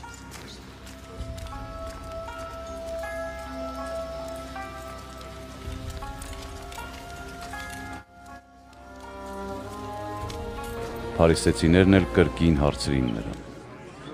Ինչպես եղավ, որ տեսնում ես։ Եվ նա ասաց նրանց. Կավ դրեց աչքերիս վրա, լվացվեցի ու տեսնում եմ։ Փարիսեցիներից ոմանք ասացին. Այդ մարդն Աստծուց չէ, քանի որ շաբաթօրը չի պահում։ Ոմանք ասում էին. Իսկ մեղավոր մի մարդ ինչպես կարող է այսպիսի նշաններ անել։ Եվ նրանց մեջ պարակտում կար։ Կույրին դարձյալ ասացին. Իսկ դու ինչ ես ասում նրա մասին։ Քանի որ նա քո աչքերը բացեց։ Նա ասաց. «Մարգարե է»։ Հрьяները չէին հավատում, թե նա կույր էր եւ բժշկվել էր, ինչեւ որ կանչեցին աչքերը բացվածի ծնողներին ու հարցրին նրանց, ասելով. «Սա է ձեր որդին, որի մասին ասում էիք, թե կույր ծնվեց։ Իսկ այժմ ինչպես է տեսնում»։ Նրա ծնողները պատասխանեցին. «Գիտենք, որ սա մեր որդին է եւ որ կույր ծնվեց» բայց թե ինչպես է այժմ տեսնում, չգիտենք։ Կամ թե ով բացեց դրա աչքերը, նույնպես չգիտենք։ Հենց իրեն հարցրեք։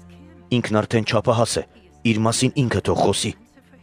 Նրա ծնողները այսպես ասացին, որովհետև հрьяաներից վախենում էին, քանի որ հрьяաները երդվել էին, որ եթե մեկը նրան Քրիստոս խոստովանի, հեռացվի ժողովարանից։ Դրա համար էլ նրա ծնողներն ասացին. Ինքն արդեն չափահաս է, հենց իրեն հարցրեք։ Երկրորդ անգամ կանչեցին այդ մարդուն, որ կույր էր, ու ասացին նրան. Աստծո առաջ ճշմարտությունն ասա։ Մենք գիտենք, որ այն մարդը մեղավոր է։ Իսկ նա ասաց. Թե մեղավորը ես չգիտեմ։ Բայց այն գիտեմ, որ կույր էի։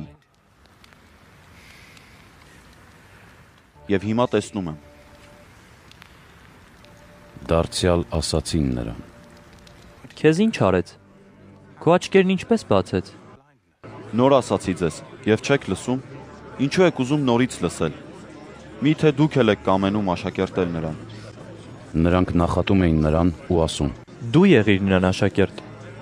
Իսկ մենք Մովսեսի աշակերտներն ենք։ Մենք գիտենք, որ Աստված Մովսեսի հետ խոսեց։ Իսկ սրան չգիտենք, թե որտեղից է։ Մարդը պատասխանեց նրանց. Զարմանալին էլ այն է, որ դուք չգիտեք, թե նա որտեղից է, սակայն իմ աչքերը բացեց։ Գիտենք, որ Աստված մեղավորներին չի լսում, բայց եթե մեկն Աստվածապաշտ է ու նրա կամքը կատարում է, նրան լսում է։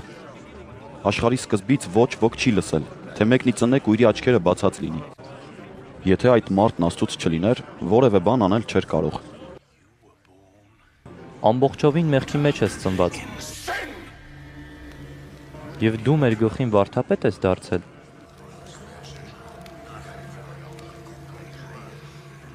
Եվ նրան դուրս հանեցին։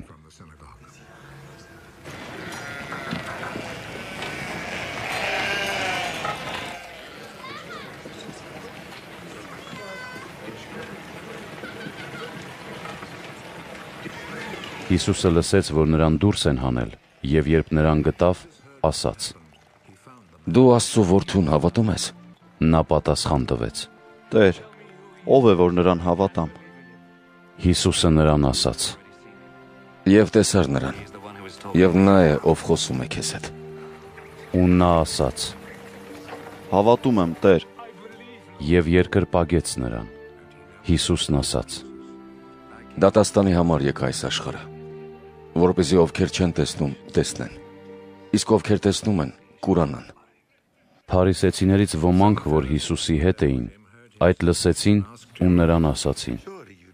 Միթե մենք էլ կույր ենք։ Հիսուսը նրանց ասաց.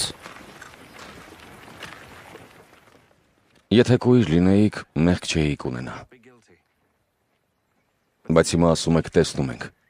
եւ ձեր մեղքը ձեր մեջ հաստատ է մնում։ Հովանես 10-րդ գլուխ։ Ճշմարիտ, ճշմարիտ եմ ասում ձեզ։ Ով ոչխարների փարախը դռնով չի մտնում, այլ ուրիշ տեղով է բարձրանում։ Նա գող է եւ ավազակ։ Իսկ ով դռնով է մտնում, հովիվն է ոչխարների։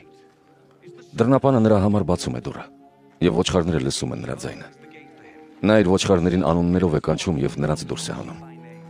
Եվ երբ իր բոլոր ոչխարներին հանում է, նրանց արջևից է գնում։ Իսկ ոչխարներն էլ հետևում են նրան, որովհետև ճանաչում են նրա ձայնը օտարի հետևից չեն գնում, այլ փախչում են նրանից, որովհետև չեն ճանաչում օտարների ձայնը։ Հիսուսը նրանց այս առակն ասաց, իսկ նրանք չէին իմանում, թե ինչ էր նա իրենց ասում։ Հիսուսը նրանց դարձյալ ասաց. Ճշմարիտ, ճշմարիտ եմ ասում ձեզ, որ ես եմ ոչխարների դուռը։ Բոլոր նրանք, որ ինձնից առաջ եկան, գողերը էին ու ավազակներ։ Ոստի ոչխարները նրանց չլսեցին։ Ես եմ դուռը։ Եթե մեկն իմ միջով մտնի, կփրկվի կմտնի ու կելնի եւ ճարակելու բան կգտնի։ Գողը գալիս է միայն գողանալու, սպանելու եւ կորստյան մատնելու նպատակով։ Ես եկա, որպեսզի կյանք ունենան։ Կյանք իր լիության մեջ։ Ես եմ բարի հովիվը։ Բարի հովիվն իր կյանքն է տալիս ոչխարների համար։ Իսկ վարձկանը, որ հովիվ չէ եւ ոչխարներն էլ իրենը չեն, երբ իմանում է, որ գայլը գալիս է, թողնում է ոչխարներին ու փախչում եւ գայլը հապշտակում է նրանց ու ցրում։ Քանզի վարձկանը եւ ոչխարների համար հոգ չի տանում։ Ես եմ բարի հովիվը։ Ճանաչում եմ իմ ոչխարներին ու ճանաչվում նրանցից։ Ինչպես հայրն է ինձ ճանաչում, ես էլ ճանաչում եմ հորը եւ իմ կյանքը կտամ իմ ոչխարների համար։ Ես այլ ոչխարներ էլ ունեմ, որոնք այս փարախից չեն։ Նրանց եւս պետք է այստեղ բերեմ։ Եվ իմ ձայնը պիտի լսեն ու պիտի լինեն մեկ հոտ եւ մեկ հովիվ։ Այն բանի համար է իմ հայրը սիրում ինձ, որ ես իմ կյանքն եմ տալիս, որպեսզի վերստին այն վերցնեմ։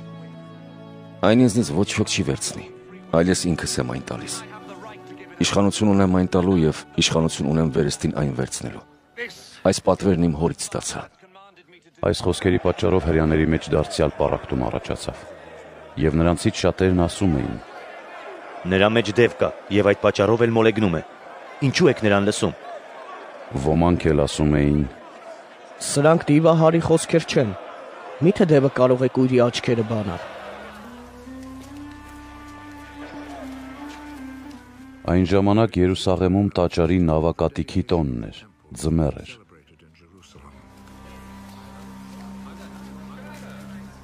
Հիսուսը շրջում էր տաճարի մեջ, Սողոմոնի սրահում։ Հрьяաները նրա շուրջը հավաքվեցին ու ասացին. Մինչև երբ մեր հոգին պիտի հանես։ Եթե դու ես Քրիստոսը, համարձակ ասա մեզ։ Ձեզ ասացի եւ ինձ չեք հավատում։ Այն գործերը, որ ես անում եմ իմ հոր անունով, դրանք վկայում են իմ մասին։ Բայց դուք չեք հավատում, որովհետև իմ ոչխարներից չեք։ Իմ ոչխարներն իմ ձայնը լսում են։ Ես ճանաչում եմ նրանց եւ նրանք իմ հետևից են գալիս։ Արդ ես նրանց հավիտենական կյանք կտամ եւ նրանք հավիտյան չեն կորչի։ Ու ոչ ոք նրանց իմ ձեռքից չի ապշտակի։ Իմ հայրը, որ նրանց ինձ տվեց, ամենքից մեծ է։ Իմ հոր ձեռքից ոչ ոք չի կարող ապշտակել նրանց։ Ես եւ իմ հայրը մի ենք։ Հрьяները դարձյալ քարեր վերցրին, որ նրանք հարկոծեն։ են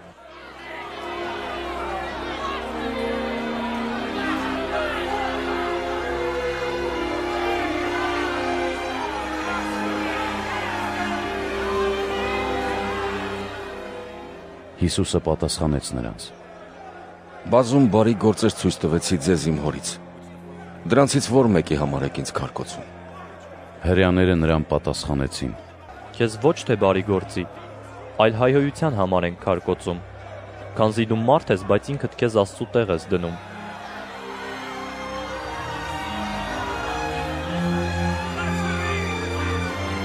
Հիսուսը նրանց պատասխանեց. Ձեր օրենքում գրված չէ։ Ես ասացի, թե Աստվածներ եք։ Իսկ եթե Աստվածներ եք կոչում նրանց, որոնց ուղղված է Աստծո խոսքը, եւ հնարավոր չէ, որ գիրքը ջնջվի։ Եվ ում հայրը սրբացրեց ու աշխարհ ուղարկեց։ Դուք ասում եք, թե հայոյում ես։ Նրա համար, որ ասացի Աստծո որդին եմ։ Եթե հորս գործերը չեմ անում, ինձ մի հավատացեք։ Իսկ եթե անում եմ, թե ինձ էլ չեք հավատում, գործերին հավատացեք։ Որպեսզի իմանաք ու ճանաչեք, որ հայրն իմ մեջ է եւ ես հոր մեջ։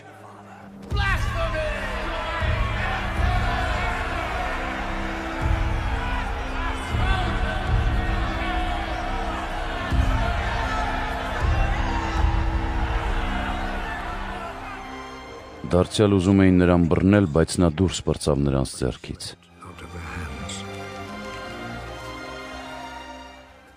Եվ վերստին գնաց Հորդանանի մյուս կողմը, որտեղ նախկինում Հովանեսն էր բնակվում եւ մկրտում։ Եվ Հիսուսն այնտեղ էլ մնում էր։ Շատերը նրա մոտ եկան եւ ասում էին. Հովանեսը որևէ նշան չարեց, բայց այն ամենը, որ Հովանեսն ասել էր նրա մասին, ճշմարիտ էր։ Եվ այնտեղ շատերը հավատացին նրան։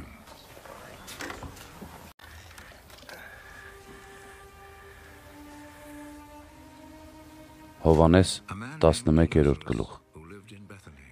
Ղազարոս անունով մի հիվանդ կար Բեթանիայից, Մարիամի եւ նրա քույր Մարթայի գյուղից։ Սա այն Մարիամն էր, որ յուղով ոցեց Տիրոջը եւ իր մազերով սրբեց նրա ոտքերը։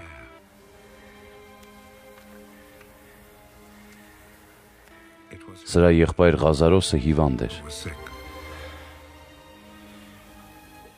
Նրա քույրերը Հիսուսի մոտ մարդ ուղարկեցին եւ ասացին. Տեր, ահավասիկ նա, ում սիրում էիր, հիվանդացել է։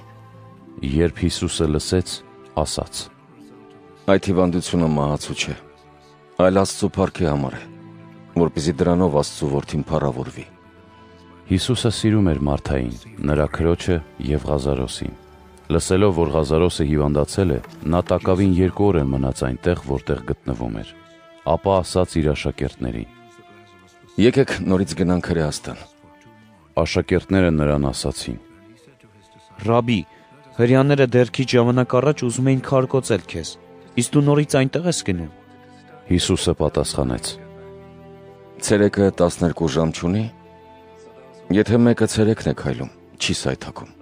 որովհետև այս աշխարհի լույսն է տեսնում։ Իսկ եթե մեկը գիշերն է քայլում, սայթակում է, որովհետև իր հետ լույս չունի։ Այս ամենն ասելուց հետո ասաց նրանց. Մեր բարեկամ Ղազարոսը ննջել է, սակայն ես գնում եմ նրան արթնացնելու։ Աշակերտները նրան ասացին. Տեր, եթե ննջել է, ուրեմն կառողջանա։ Բայց Հիսուսը նրա մահվան մասին էր ասում։ Մինչդեռ նրանց այնպես թվաց, թե նա քնով ննջելու մասին է խոսում։ Այն ժամանակ Հիսուսը նրանց հայտնապես ասաց. Ղազարոսը մեռավ, բայց ես ուրախ եմ ձեզ համար, որովհետև դուք ինձ կհավատաք, քանզի ես այնտեղ չէի։ Հիմա եկեք գնանք նրա մոտ։ Թովմասը, որ երկվորյակ էր կոչվում, աշակերտակիցներին ասաց.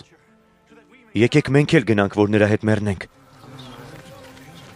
Հիսուսը եկավ, նրան գտավ 4 օրից ի վեր գերեզմանի մեջ դրված։ Եվ Բեթանիան Երուսաղեմի մոտ էր շուրջ 3 կիլոմետր։ Հрьяաներից շատերը եկել էին Մարթայի եւ Մարիամի մոտ, որ เป զի նրանց մխիթարեին իրենց եղբոր մահվան համար։ Երբ Մարթան լսեց, որ Հիսուսը գալիս է, նրան ընթառաջ գնաց։ Իսկ Մարիամը տանը նստած էր։ Մարթան Հիսուսին ասաց. Տեր, եթե դու այստեղ եղած լինեիր, իմ եղբայրը մեռած չէր լինի։ Բայց հիմա էլ գիտեմ, որ ինչ էլ Աստծուց խնդրես, Աստված քեզ կտա։ Քո եղբայրը հարություն կառնի։ Գիտեմ, որ հարության ժամանակ վերջին օրը հարություն կառնի։ Ես եմ հարությունն ու կյանքը։ Ով հավատում է ինձ, թեպետ եւ մեռնի կապրի։ Եվ ով կենթանի է ու ինձ հավատում է, հավիտյան չի մեռնի։ Հավատում ես այս ամենին։ Նա ասաց նրան. Այո, Տեր։ Հավատում եմ, որ դու ես Քրիստոսը։ Աստծո որդին, որ աշխարհը իր գալով։ Եվ այս ասելուց հետո գնաց լռելիային կանչեց իր քրոջը Մարիամին ու ասաց.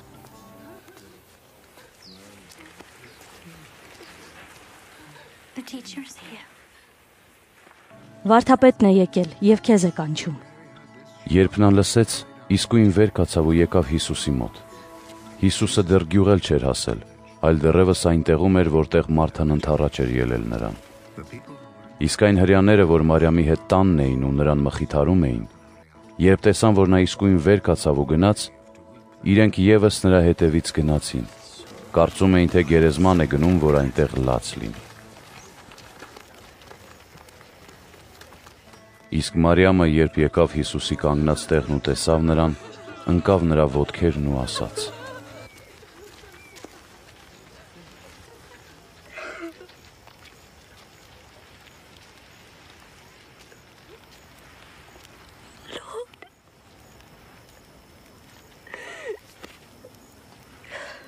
Տեր, եթե այստեղ եղած լինեիր, իմ եղբայրը մեռած չէր լինի։ Երբ Հիսուսը տեսավ, որ նա ու նրա հետ եղող հрьяներն էլ լալիս են,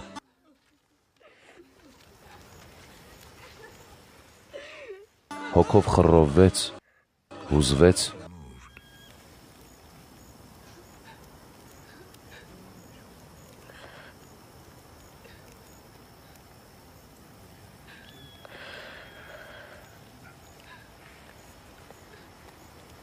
եւ ասաց. Որտեղ դրեցիք նրան։ Նրան ասացին. Տեր, արի ու տես։ Եվ Հիսուսն արտասվեց։ Հрյաներն ասացին. Տեսեք ինչքան էր սիրում նրան։ Նրանցից ոմանք էլ ասում էին. Սա որ կույրի աչքերը բացեց, չէր կարող արդյոք այնպես անել, որ Ղազարոսն էլ չմեռներ։ Հիսուսը դարձյալ խռովվելով ինքն իր մեջ եկավ գերեզմանի մոտ։ Մի քարայր էր, վրան մի քար դրված։ Եվ Հիսուսն ասաց. Այդ քարը մի կողմ դրեք։ Տեր, հիմա արդեն նեղած կլինի, քանի որ 4 օրվա է։ Քեզ չասացի, որ եթե հավատաս, Աստծո փառքը կտեսնես։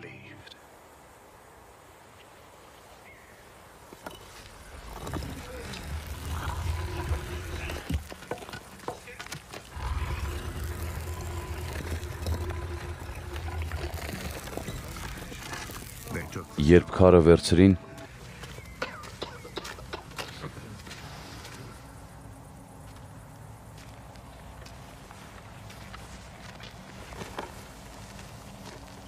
Հիսուսն աչքերը վեր բարձրացրեց ու ասաց. Հայր, գոհություն քեզ, որ ինձ լսեցիր։ Ես գիտեի, որ ամեն ժամ լսում ես ինձ։ Բայց այս անում եմ շուրջս կանգնած այս ժողովրդի համար, որպեսզի հավատան, որ դու ուղարկեցիր ինձ։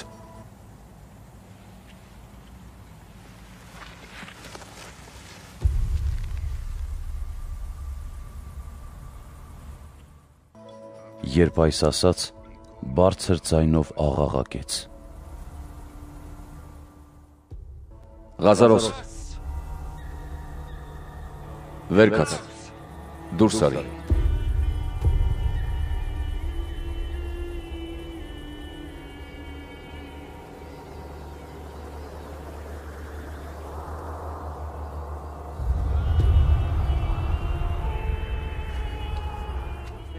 Եվ մեռելը ելավ, կապված ոտքերով, ձեռքերը երիզներով պինդ ամրացված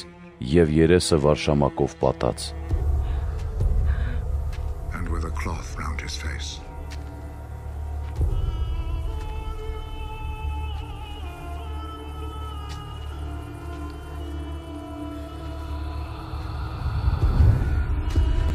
Եվ Հիսուսը նրանց ասաց. Արցակեք դրան եւ թողեք որ գնա։ Իսկ հрьяներից շատերը, որոնք Մարիամենց մոտ էին եկել, երբ տեսան ինչ արեց Հիսուսը, հավատացին նրան։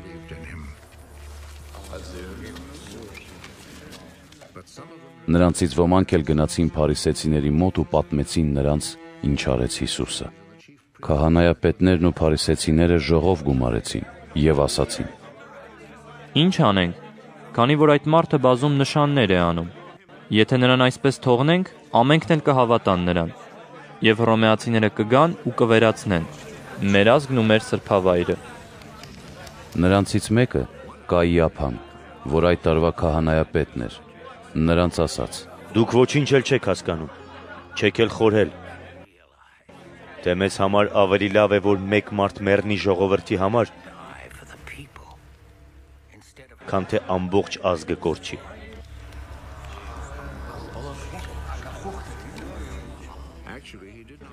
Այս բանը նա ինքն իրենից չասաց, այլ քանի որ այդ տարվա քահանայապետն էր, մարգարեացավ, որ Հիսուսը մեռնելու էր ազգի համար։ Եվ ոչ միայն ազգի համար, այլ որպես զի նաև Աստծո ծրված որդիներին իմի հավաքի։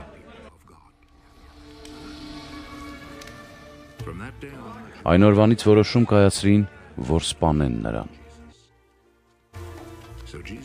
Եվ Հիսուսն այնուհետև համարցակ չէր շրջում հрьяաների մեջ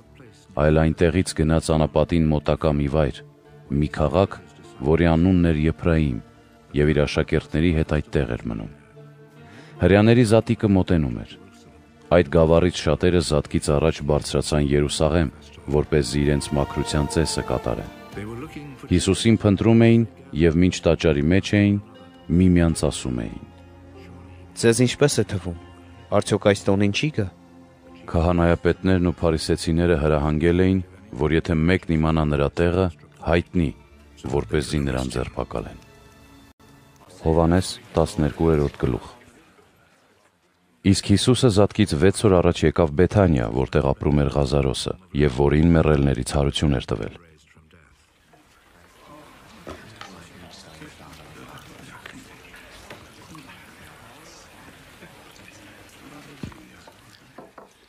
Այնտեղ Հիսուսին ընթրիք տվեցին։ Սպասարկում էր Մարթան։ Իսկ Ղազարոսը նրա հետ սեղան նստածներից մեկն էր։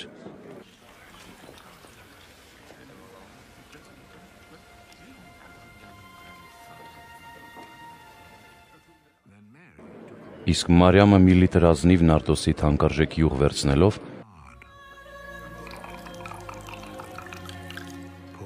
օծեց Հիսուսի ոտքերը եւ իր մազերով սրբում էր նրա ոտքերը։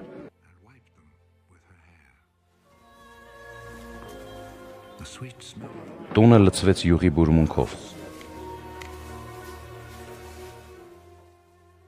Աշակերտներից մեկը Հուդա Իսկարիովտացին, որ մատնելու էր նրան, ասաց. Ինչու այդ յուղը չվաճառվեց 300 արծաթ դահեկանի եւ չտրվեց աղքատներին։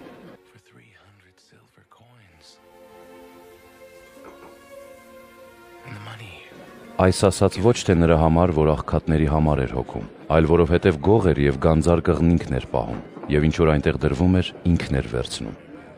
Հիսուսն ասաց. Հանգիստ թողեք նրան։ Ինչ որ անում է, իմ թաղման օրվա համար է։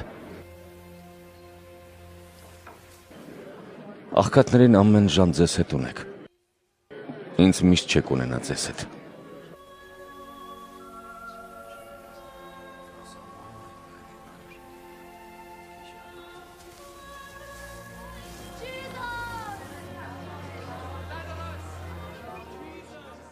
Երբ հрьяաներից շատերն իմացան, որ նա այնտեղ է, եկան ոչ միայն Հիսուսի պատճառով, այլ որպես զի տեսնեն նաև Ղազարոսին, որին մեռելներից հարություն էր տվել։ Քահանայապետները որոշեցին Ղազարոսին էլ սպանել, քանի որ շատերը հեռանում էին հрьяաներից ու հավատում Հիսուսին։ Հաջորդ օրը ժողովրդի բազմությունը, որ Զատկիտոնին էր եկել, Լսելով, թե Հիսուսը Երուսաղեմ է գալիս, արմավենիների ճյուղեր վերցրեց եւ Հիսուսին ընթառաջ ելավ աղաղակելով. Օվսաննա, օրհնյալ լինես դու, որ գալիս ես Տիրոջ անունով, ով թագավոր Իսրայելի։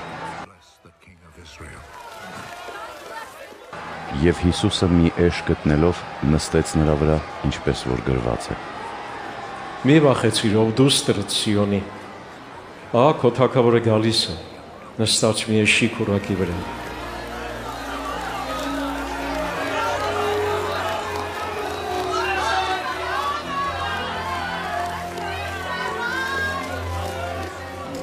Եվ նրա աշակերտներն սկզբում այս չհասկացան, բայց երբ Հիսուսը փառավորվեց, այն ժամանակ հիշեցին, որ այդ նրա մասին էր գրված, եւ իրենք այդ էին արել նրան։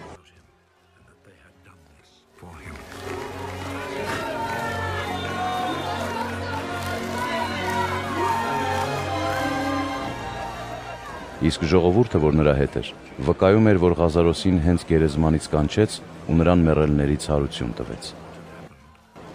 Եվ դրա համար էլ նրան ընթառաջ ելավ ժողովուրդը, որովհետև լսել էին, որ այդ նշաններն էր արել։ Իսկ փարիսեցիները միմյանց ասում էին. Տեսնում եք, որ ոչ մի օգուտ չեք ստանում։ Ահավասիկ ամբողջ աշխարհը նրա հետևից գնաց։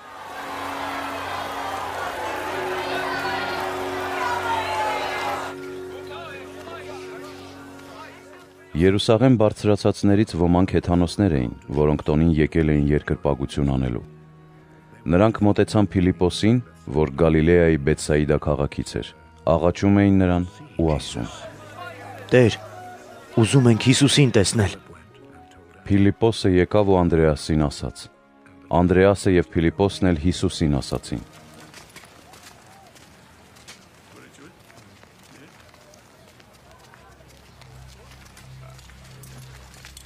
Եվ Հիսուսը նրանց պատասխանեց ասելով.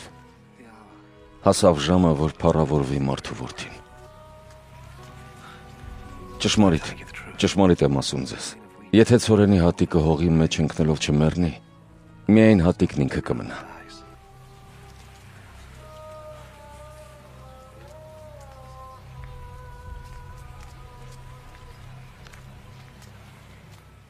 Իսկ եթե մեռնի, բազում արդյունք կտա։ Ով սիրում է իր անձը, պիտի կորցնի այն։ Իսկ ով այս աշխարհում իր անձնատում է, այն կպահի հավիտենական կյանքի համար։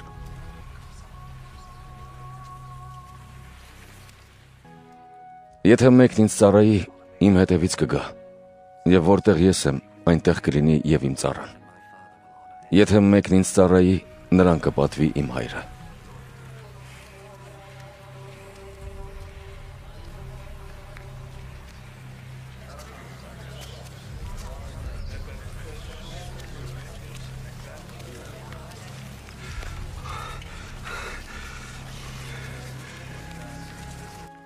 Այժմ հոգիս խռովված է։ Եվ ինչ ասեմ։ Հայր, փրկիր ինձ այս ժամից։ Բայց ես հենց այս բանի համար եմ եկել այս ժամին։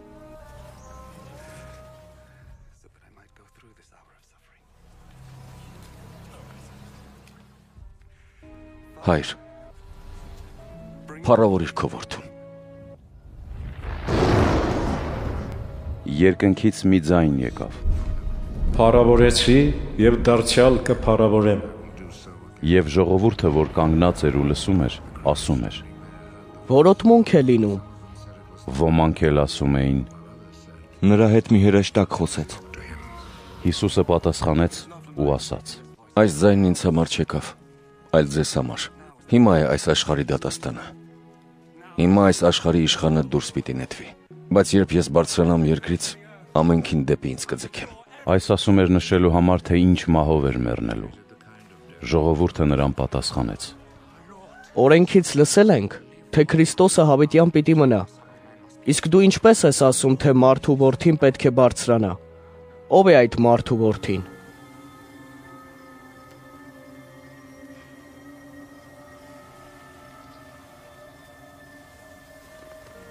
Հիսուսը նրանց ասաց. Մի փոքր ժամանակ եւս լույսը ձեզ հետ է։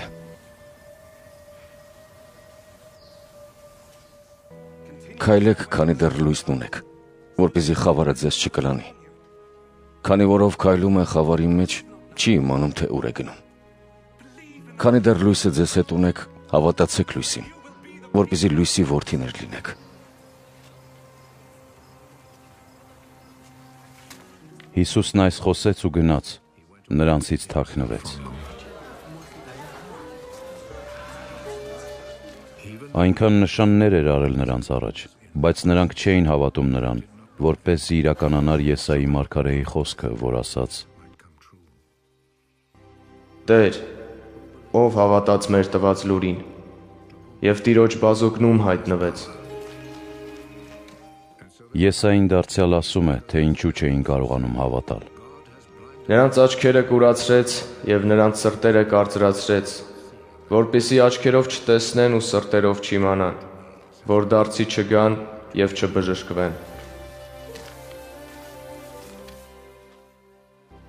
Եսային այս ասաց, որովհետև տեսավ նրա փառքն ու խոսեց նրա մասին։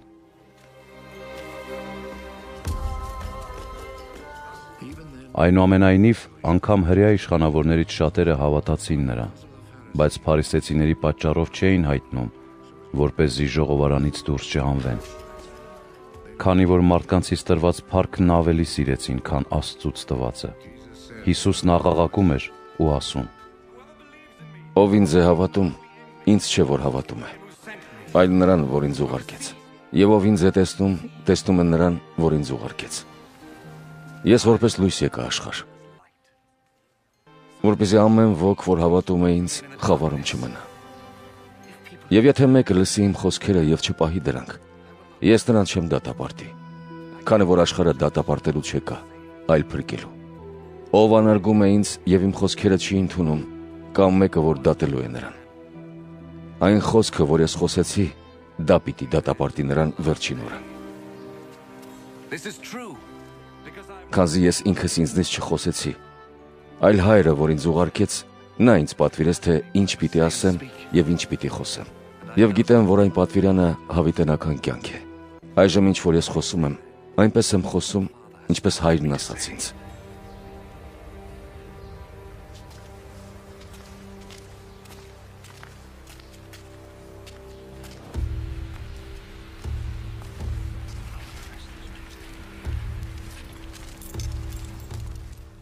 Հովանես 13-րդ գլուխ.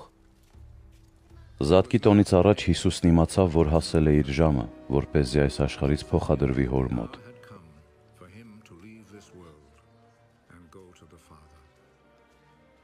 Սիրեց այս աշխարհում գտնվող յուրայիններին։ Ամբողջովին սիրեց նրանց։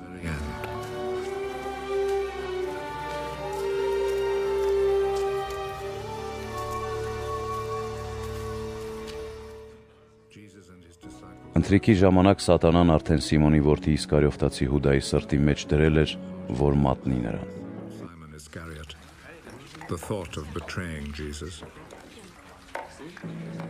Հիսուսը հասկացավ, որ հայրն ամեն բան իր ձեռքն էր հանձնել, եւ որ ինքն Աստծուց էր ելել ու Աստծու մոտ էր գնում։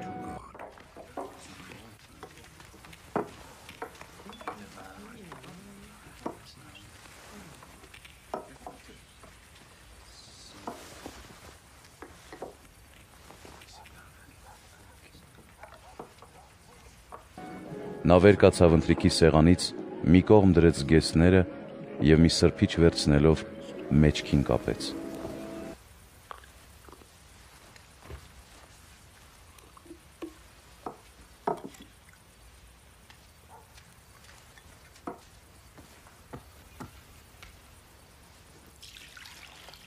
Եվ ապա ջուր վերցնելով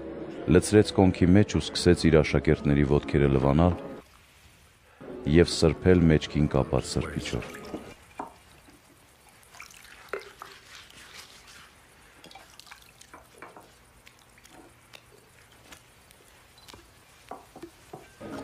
Մոտեցավ Սիմոն Պետրոսին եւ սա ասաց նրան. Տեր, դու ես իմ ոտքերը լվանում։ Հիսուսը պատասխանեց նրան. Ինչ որ ես անում եմ, դու հիմա չես հասկանում, բայց հետո կհասկանաս։ Պետրոսը նրան ասաց.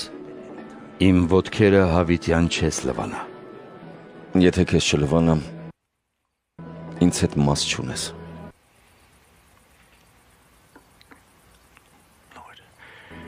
Սիմոն Պետրոսն ասաց նրան. Տեր, ոչ միայն ոտքերս, այլև ձեռքերս ու գլուխս էլ լվա։ Հիսուսը նրան ասաց. Լվացվածին ուրիշ բան պետք չէ։ Պետք է միայն ոտքերը լվանալ, քանի որ ամբողջությամբ մաքուր է։ Եվ դուք մաքուր եք։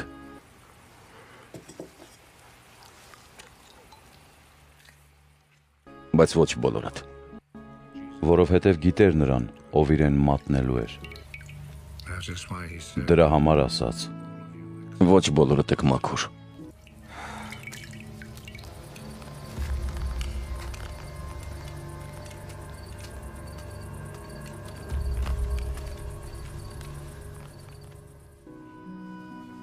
Երբ նրանց ոտքերը լված, վերցրեց իր զգեստները եւ դարձյալ սեղան նստեց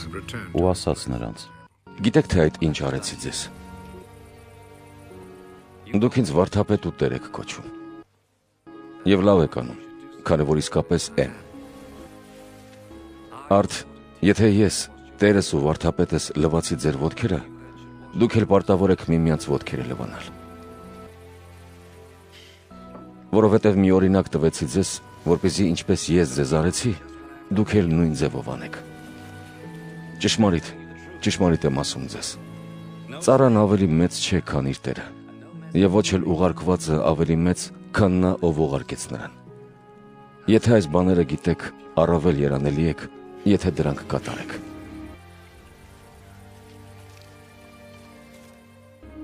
Ձեր բոլորի համար չեմ ասում։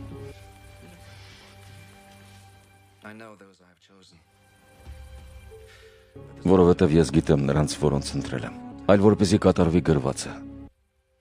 Ով ինձ հետ հացեր ուտում, իմ դեմ դարձավ։ Հենց այս ժամվանից ասում եմ ձեզ, քանի դեռ չի եղել, որպեսզի երբ լինի հավատաք, որ ես եմ։. Ճշմարիտ, ճշմարիտ եմ ասում ձեզ։ Իմ ուղարկածին ընդունողն ինձ է ընդունում։ Եվ ինձ ընդունողն ընդունում է նրան, ով ուղարկեց ինձ։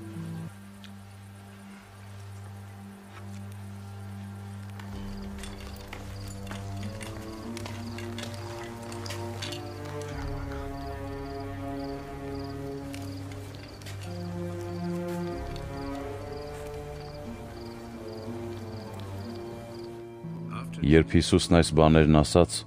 խռովվեց իր հոգում, վկայեց ու ասաց. Ճշմարիտ, ճշմարիտ եմ ասում ձեզ։ Որ ձեզնից մեկը մատնելու է ինձ։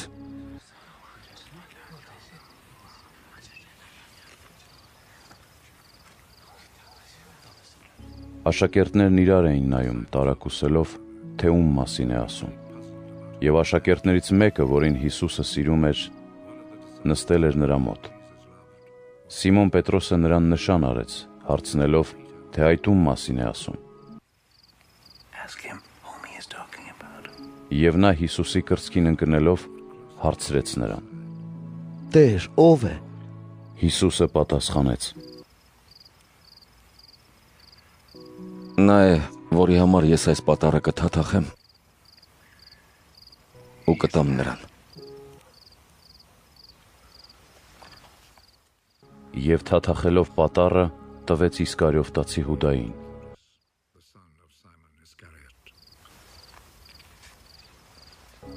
Պատարն առնելուց հետո սատանան մտավ նրա մեջ։ Հիսուսը նրան ասաց. Արդ ինչ որ անելու ես, իսկույն արա։ Սեղանակիցներից ոչ ոք չիմացավ, թե նա ինչի համար այդ ասաց նրան։ Որովհետև ոմանք կարծում էին, թե քանի որ Հուդան էր գանձանակը պահում, Հիսուսը նրան ասաց. «Գնիր ինչ որ տոնի ժամանակ պետք է մեզ» եւ կամ որ մի բան տա աղքատներին։ Իսկ նա պատարը վերցնելով իսկույն դուրս ելավ։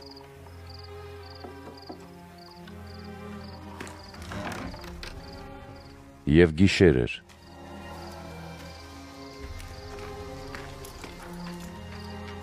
Երբ նա դուրս ելավ, Հիսուսն ասաց. Այժմ մարդու որդին փառավորվեց։ Եվ Աստված փառավորվեց նրանով։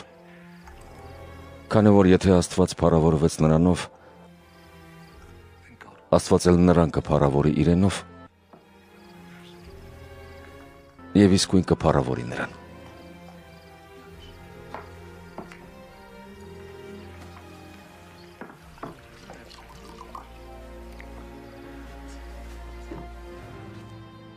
Որդյակներս։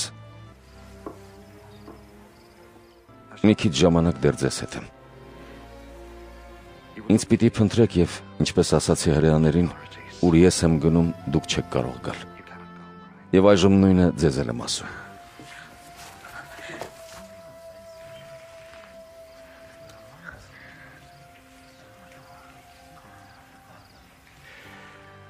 Նոր պատվիրան եմ տալիս ձեզ, որ սիրեք միմյանց։ մի Ինչպես ես ձեզ սիրեցի, դուք էլ միմյանց սիրեք։ Եթե դուք միմյանց սիրեք,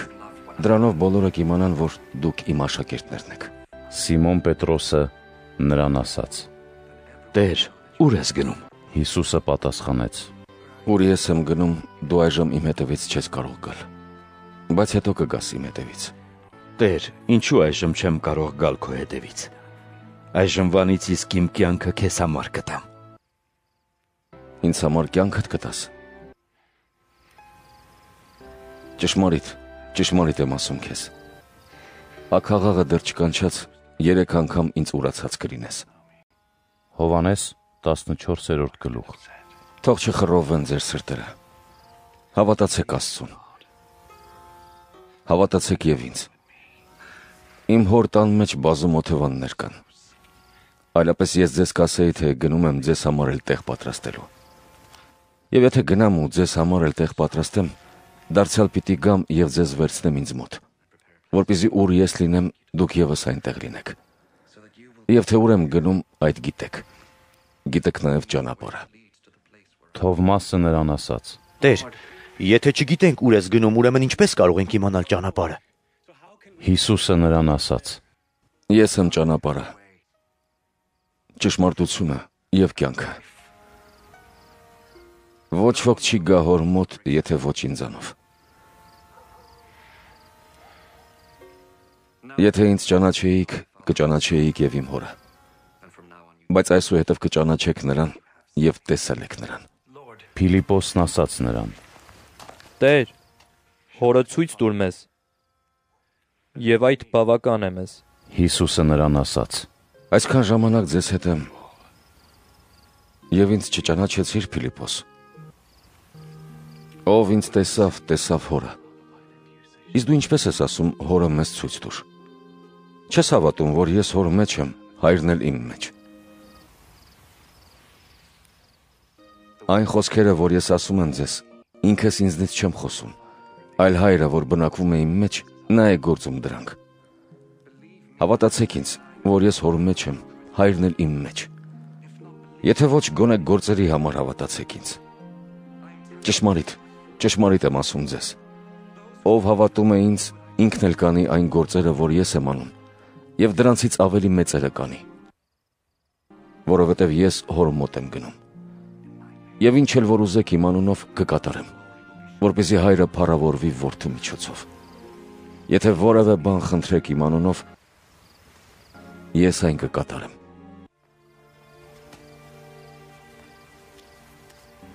Եթե ինձ սիրեք, կպահեք իմ պատվիրանները։ Եվ ես պիտի աղաչեմ օրը, եւ նա այլ մխիթարիչ պիտի տա ձեզ, որպեսզի հավիտյան ձեզ հետ բնակվի։ Ճշմարտության հոգին, որին այս աշխարհը չի կարող ընդունել, որովհետև նրան չի տեսնում եւ նրան չի ճանաչում։ Բայց դուք ճանաչում եք նրան, որովհետև ձեզ մոտ պիտի բնակվի եւ ձեզ հետ պիտի լինի։ Ձեզ որբ չեմ թողնի, կգամ ձեզ մոտ։ Մի փոքր ժամանակ եւս եւ այս աշխարհն այլևս ինձ չի տեսնի։ Բայց դուք կտեսնեք ինձ, որովհետև ես կենթանի եմ եւ դուք էլ կենթանի եք լինելու։ Այն օրը դուք պիտի իմանաք, որ ես իմ հոր մեջ եմ եւ դուք իմ մեջ, ու ես ձեր մեջ։ Ով իմ պատվիրաններն ընդունում է, դրանք պահում է, նա է, որ ինձ սիրում է։ Ով սիրում է ինձ, պիտի սիրվի իմ հորից։ Ես էլ նրան պիտի սիրեմ եւ ինձ պիտի հայտնեմ նրան։ Հուդան ոչ Իսկարիովտացին ասաց նրան. Տեր,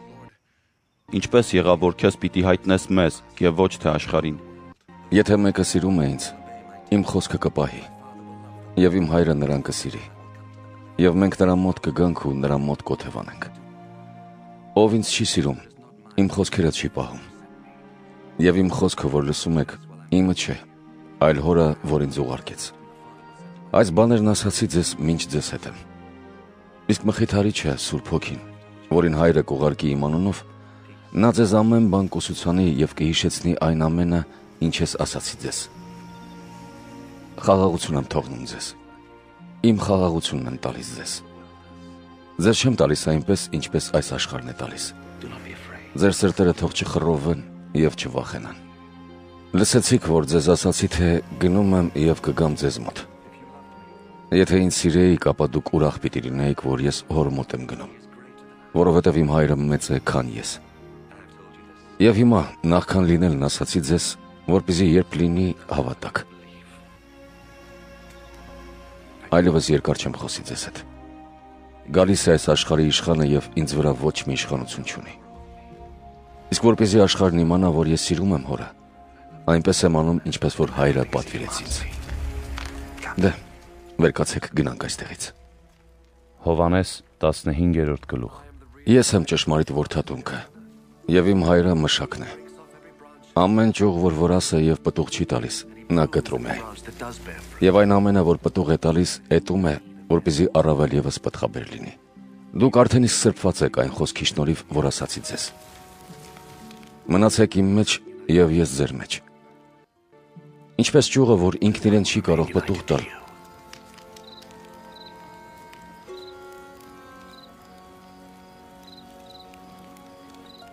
Եթե որդատունկի վրա հաստատված չլինի, նույնպես եւ դուք։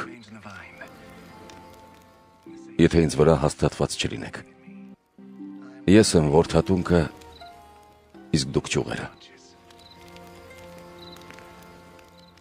Ով իմ մեջ է բնակվում եւ ես նրա մեջ, նա շատ պտուղ է տալիս, որովհետեւ առանց ինձ ոչինչ անել չեք կարող։ Եթե մեկն ինձ վրա հաստատված չէ, Նա ճյուղի նման դուրս կնետվի ու կչորանա։ Ապա այն կհավաքեն ու կրակ կնետեն եւ կայրվի։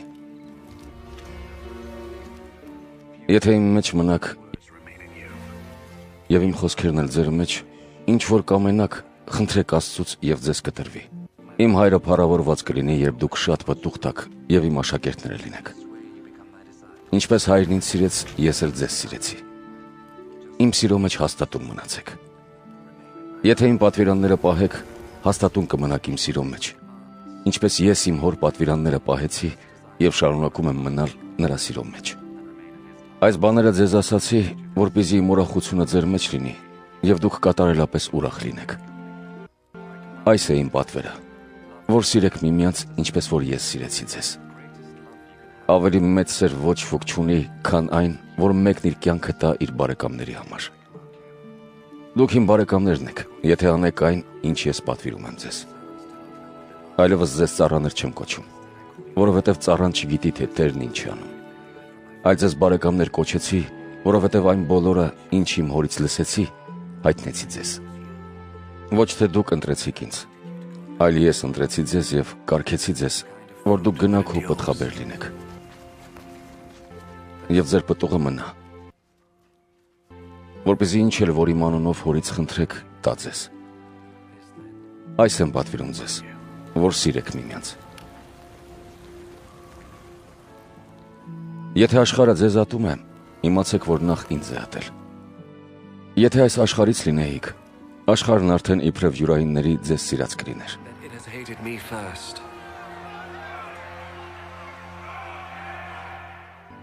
Բայց որովհետև այս աշխարից չեք,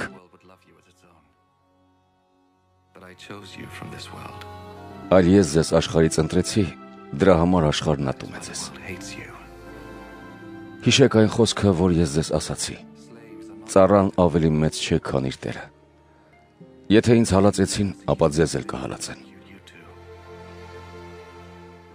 Եթե իմ խոսքը պահեցին, ապա ձերն էլ կպահեն։ Բայց նույն այս բոլոր բաները ձեզ պիտի անեն իմ անվան պատճառով, որովհետև չեն ճանաչում ինձ ուղարկողին։ Եթե ես եկած եւ նրանց հետ խոսած չլինեի, նրանք որևէ մեղք ունեցած չէին լինի։ Բայց հիմա իրենց մեղքի համար ոչ մի արդարացում չկա։ Ով ինձ է ատում, իմ հորն էլ է ատում։ Եթե ես նրանց մեջ արած չլինեի այն գործերը, որ ուրիշ ոչ ոք չարեց, նրանք որևէ մեղք չէին ունենա։ Բայց այժմ տեսան գործերը եւ ատեցին թե ինձ, թե իմ հորը։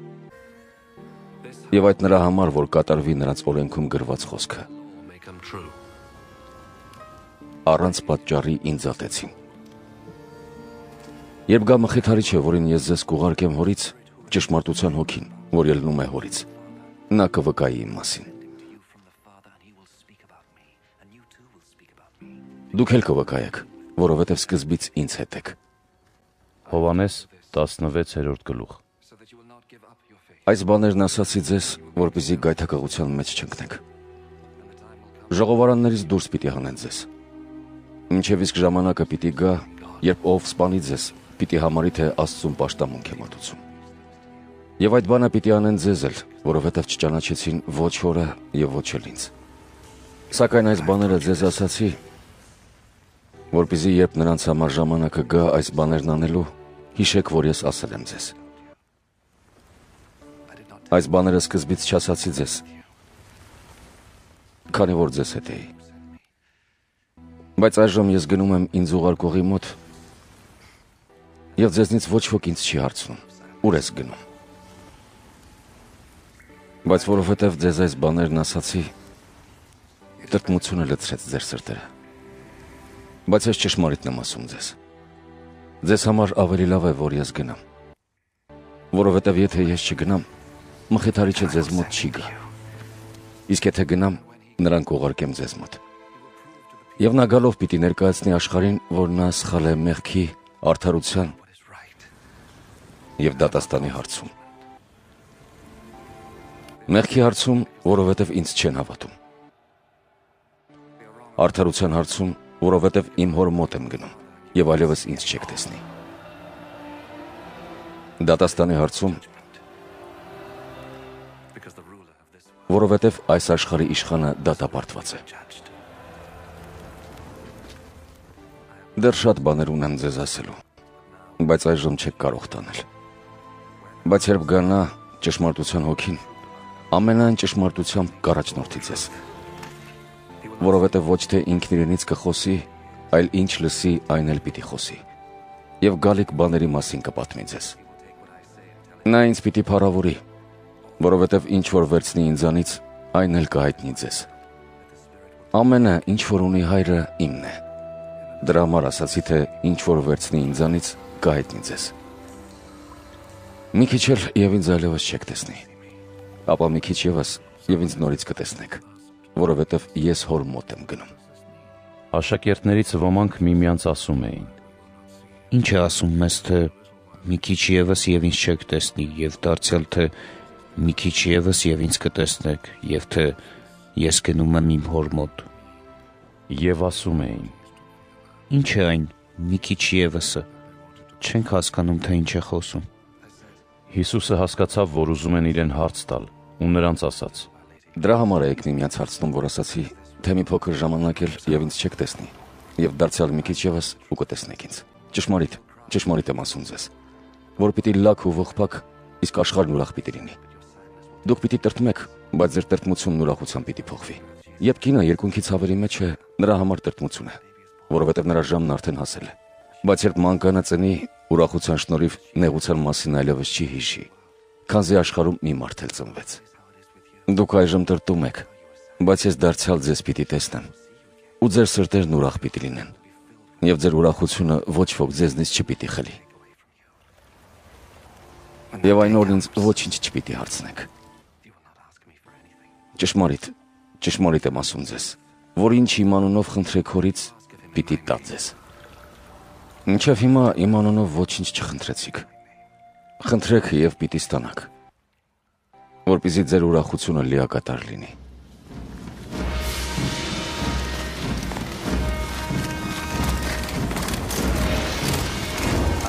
Այս բաներն առակներով ասացի ձեզ։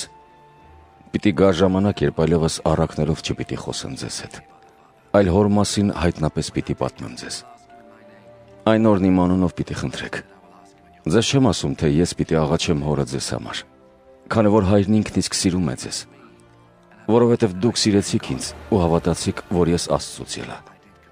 Ելա հորից ու եկա աշխարհ։ Դարձյալ թողնում եմ աշխարհը եւ գնում հոր մոտ։ Աշակերտները նրան ասացին. Ահա հիմա բացայիտ ես խոսում եւ ոչ մի առակ չես ասում։ Հիմա գիտենք, որ ամեն բան գիտես եւ կարիք չկա, որ մեկը քեզ բան հարցնի։ Դրա համար հավատում ենք, որ Աստծուց ելար։ Հիսուսը պատասխանեց նրանց. Այժմ հավատում եք։ Ահա պիտի գա ժամանակը, եւ արդեն իսկ եկել է, երբ կցրվեք յուրաքանչյուրը ձեր տեղն ու ինձ միայնակ կթողնեք։ Սակայն ես միայնակ չեմ, որովհետև հայրն ինձ հետ է։ Այս բաներն ասացի ձեզ, որպեսզի ինձնով խաղաղություն ունենաք։ Այստեղ աշխարհում նեղություն պիտի ունենաք, սակայն քաջալերվեք, որովհետև ես հաղթեցի աշխարհին։ Հովանես 17-րդ գլուխ։ Հիսուսն այս բաները խոսելուց հետո աչքերը երկինք բարձրացրեց ու ասաց. Հայր, հասել է ժամը։ Փառավորիր քո որդուն։ Որպեսզի քո որդին էլ քեզ փառավորի։ Ինչպես որ նրան իշխանություն տվեցիր բոլոր մարդկանց վրա, որպեսզի հավիտենական կյանք տա բոլոր նրանց, որոնց դու նրան տվեցիր։ Այս է հավիտենական կյանքը, որ ճանաչեն քեզ իբրև միակ ճշմարիտ Աստծո։ Նաև Հիսուս Քրիստոսին, որին դու ուղարկեցիր։ Ես քեզ փառավորեցի երկրի վրա։ Կատարեցի այն գործը, որն ինձ տվեցիր, որ անեմ։ Եվ դու, հայր, այժմ փառավորիր ինձ քեզ պատկանող այն փառքով, որ ունեի քեզ մոտ նախքան աշխարհի ստեղծումը։ Քո անունը հայտնեցի այն մարդկանց, որոնց ինձ տվեցիր աշխարից։ Նրանք քոնն էին եւ ինձ տվեցիր նրանց։ Ու նրանք քո խոսքը պահեցին։ Հիմա իմացան, որ այն ամենը, ինչ ինձ տվեցիր, քոնն էր։ Եվ խոսքը, որ ինձ տվեցիր, ես նրանց տվեցի։ Նրանք ընդունեցին ու ճշմարտությամբ ճանաչեցին, որ ես քո մոտից ելա։ Եվ նրանք հավատացին, որ դու ուղարկեցիր ինձ։ Այժմ ես նրանց համար եմ աղաչում եւ ոչ թե աշխարհի։ Նրանց համար, որոնց դու ինձ տվեցիր, որովհետեւ նրանք քոնն են։ Եվ ինչ որ իմն է, բոլորը քոնն է։ Եվ ինչ որ քոնն է իմն է։ Ու ես նրանց մեջ փառավորված եմ։ Ես այլևս աշխարհի մեջ չեմ, իսկ նրանք աշխարհի մեջ են։ Եվ ես դեպի քեզ եմ գալիս։ Սուրբ Հայր, պահիր նրանց քո անունով, որն ինձ տվեցիր, որպեսզի լինեն մի, ինչպես որ մենք ենք մի։ Ինչ աշխարհում նրանց հետ էի, ես պահում էի նրանց քո անունով, որն ինձ տվեցիր։ Ես պահեցի ու նրանցից ոչ ոք չկորավ, բացի կորստյան որդուց, որպեսզի իրականանա գրվածը։ Բայց հիմա քեզ մոտ եմ գալիս։ Եվ այս բաները խոսում եմ աշխարհում, որպեսզի նրանք իրենց մեջ իմ լիառատ ուրախությունն ունենան։ Ես նրանց տվեցի քո խոսքը, բայց աշխարհն ատեց նրանց, որովհետև նրանք այս աշխարից չեն, ինչպես որ ես։ Ոչ թե աղաչում եմ, որ նրանց վերացնես աշխարից, այլ որ նրանց պահես չարից։ Նրանք այս աշխարից չեն, ինչպես որ ես։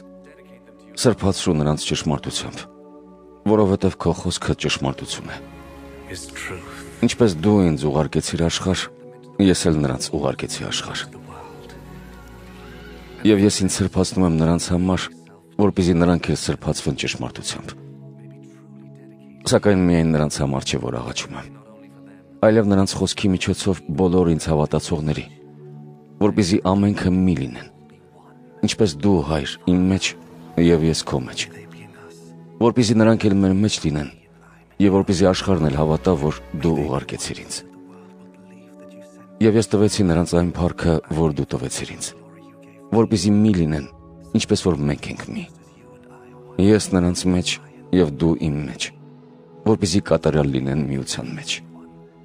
Եվ աշխարհն իմանա, որ դու ուղարկեցիր ինձ։ Ես սիրեցի նրանց, ինչպես դու ինձ սիրեցիր։ Հայր, ում ինձ տվեցիր, կամենում եմ, որ որտեղ ես եմ, նրանք էլ այնտեղ ինձ հետ լինեն, որպեսզի տեսնեն իմ փառքը, որ ինձ տվեցիր, քանի որ ինձ սիրեցիր նախքան աշխարհի լինելը։ Արդար հայր, թեև աշխարհը քեզ չճանաչեց, բայց ես քեզ ճանաչեցի։ Եվ նրանք էլ ընդունեցին, որ դու ես ուղարկել ինձ։ Եվ ճանաչեցրի նրանց քո անունը ու պիտի ճանաչեցնեմ, որպեսզի այն սերը, որով ինձ սիրեցիր, նրանց մեջ լինի, եւ ես նրանց մեջ։ Հովանես 18-րդ գլուխ Այս ամենն ասելուց հետո Հիսուսն աշակերտներով հանդերձ ելավ գնաց Կեդրովնի ձորի մյուս կողմը, որտեղ մի պարտեզ կար։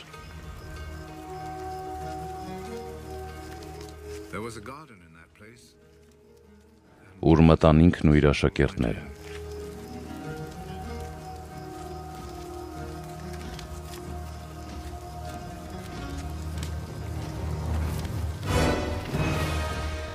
Հուդան էլ, որ նրան մատնելու էր, գիտեր այդ տեղը, որովհետև Հիսուսն ու իր աշակերտները շատ անգամ էին այնտեղ հավաքվել։ Եվ Հուդան իր հետ վերցնելով գունդը եւ քահանայապետների ու փարիսեցիների կողմից ուղարկված պահակների, այնտեղ եկավ ջահերով, լապտերներով ու զենքերով։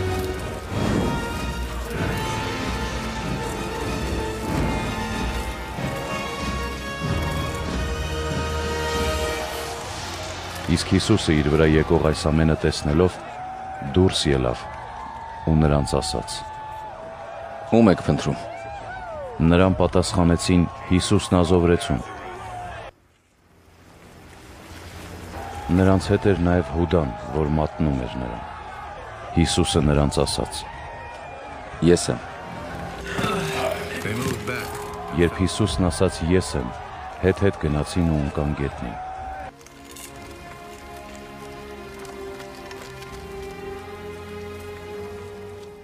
Դարձյալ նրանց հարցրեց. Ում եք փնտրում։ Նրանք ասացին Հիսուս Նազովրեցուն։ Հիսուսը նրանց պատասխանեց. Ձեզ ասացի ես եմ։ Արդ եթե ինձ եք փնտրում, նրանց թույլ տվեք գնալու։ Որպեսի կատարվի խոսքը, որ ասել էր. Նրանց ում ինձ տվեցիր, նրանցից եւ ոչ մեկին չկորցրի։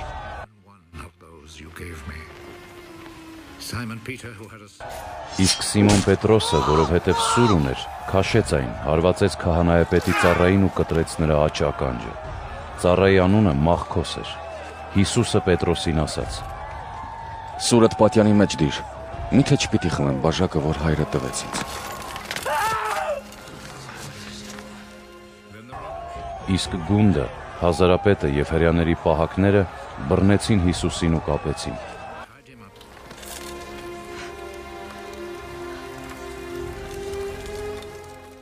Նրան նախ տարան Աննայի մոտ, որը Կայափայի այդ տարվա քահանայապետի աներն էր։ Սա այն Կայափան էր, որ հрьяաներին խրատ տվեց, թե ավելի լավ է, որ ժողովրդի համար մեկ մարդ մեռնի։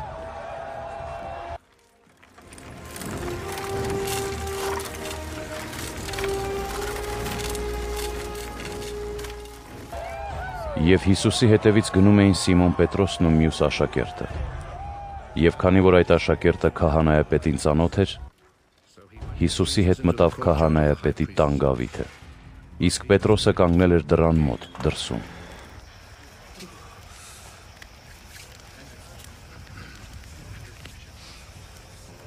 Այդ մյուս աշակերտը, քահանայապետի ծանոթը, դուրս ելավ, դռնապանին ասաց ու Պետրոսին ներս մցրեց։ Դռնապան աղջիկը Պետրոսին ասաց. Չէ՞ որ դու էլ այդ մարդու աշակերտներից ես։ Եվ նա ասաց. Ոչ, չեմ։ Այնտեղ կային ծառաներ ու պահակներ, որոնք քանի որ ցուրտ էր, խարույկ էին վառել ու տականում էին։ Պետրոսն էլ նրանց հետ կանգնել ու տականում էր։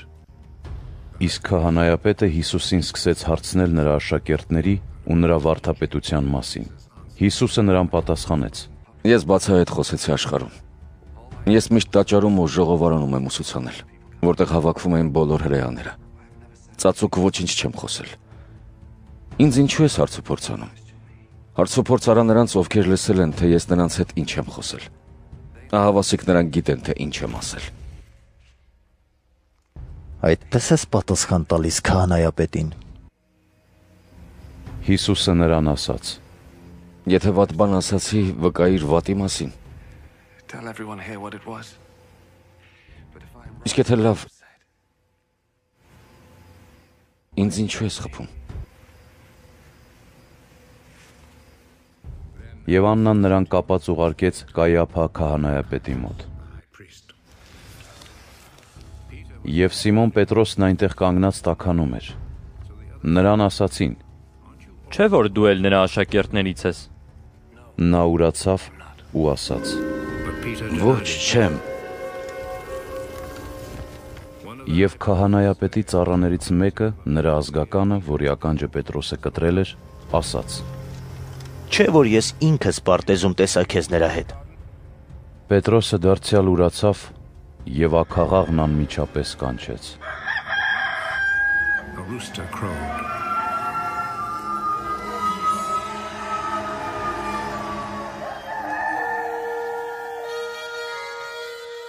Կայափայի մոտից Հիսուսին տարան կուսակալի ապարանքը։ Թեև այգաբաց էր, բայց նրանք ապարանք չմտան, որ เป զի չպղծվեն եւ որ เป զի զատկական ընթրիքը կարողանան ուտել։ The Passover meal. Ոստի Պիղատոսն ինքը դուրս ելավ նրանց մոտ ու ասաց. Այս մարդու մասին ինչ ամբաստանություն եք ներկայացնում։ Եթե սա չարագործ չլիներ, ապա նրան քո ձեռքը չէինք մատնի։ Դուք վերցրեք նրան եւ ձեր օրենքի համաձայն նրան դատեք։ Մեզ համար որևէ մեկին սպանել նորինավոր չէ։ Որպես զի կատարվի Հիսուսի այն խոսքը, որ նա ասաց, նշելով, թե ինքն ինչ մահով էր մեռնելու։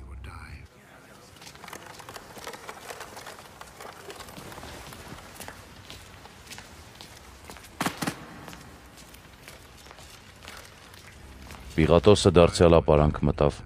կանչեց Հիսուսին ու ասաց նրան.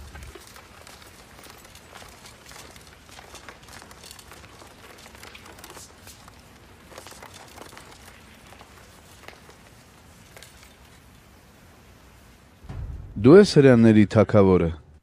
Դու քեզնից ես այդ ասում։ Թե իմ մասին ուրիշներն ասացին քեզ։ Պիղատոսը պատասխանեց. Միթե ես էլ հրյա եմ, քո ազգն ու քահանայապետները մատնեցին քեզ իմ ձեռքը։ Ասա, ի՞նչ ես արել։ Հիսուսը պատասխանեց. Իմ թակավորությունն այս աշխարից չէ։ Եթե իմ թակավորությունն այս աշխարից լիներ, չէ՞ որ իմ հետևորդներն արդեն կմարտնչեին, որպեսզի հрьяաների ձեռքը չմատնվեմ։ Բայց արդ իմ թակավորությունն այս աշխարից չէ։ Եթե այդպես է, ուրեմն դու թակավոր ես։ Դու ես ասում, որ թակավոր եմ։ Բայց ես դրա համար իսկ ծնվել ու աշխարհ եմ եկել, որպեսզի վկայեմ ճշմարտության մասին։ Ամեն մարդ, որ ճշմարտությունից է, իմ ձայնը լսում է։ Պիղատոսը նրան հարցրեց. Ինչ է ճշմարտությունը։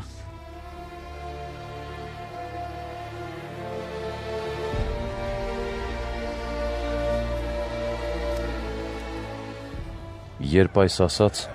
անմիջապես դուրս ելավ հрьяների մոտ ու ասաց նրանց. Ես նրա մեջ ոչ մի հանցանք չեմ գտնում։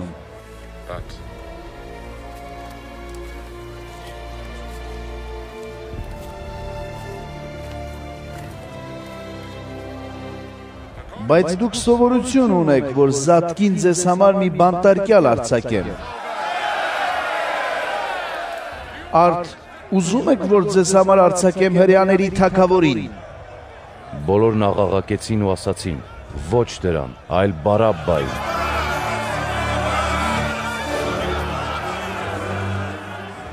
Իսկ այդ Բարաբբան մի ավազակ էր։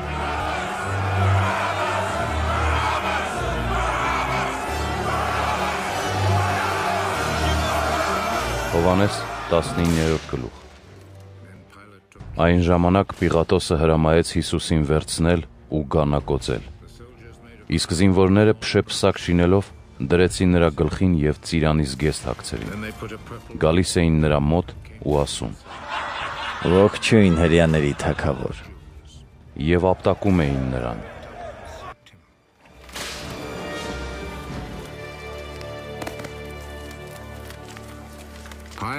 Պիղատոսը դարձյալ դուրս ելավ ու ասաց նրանց.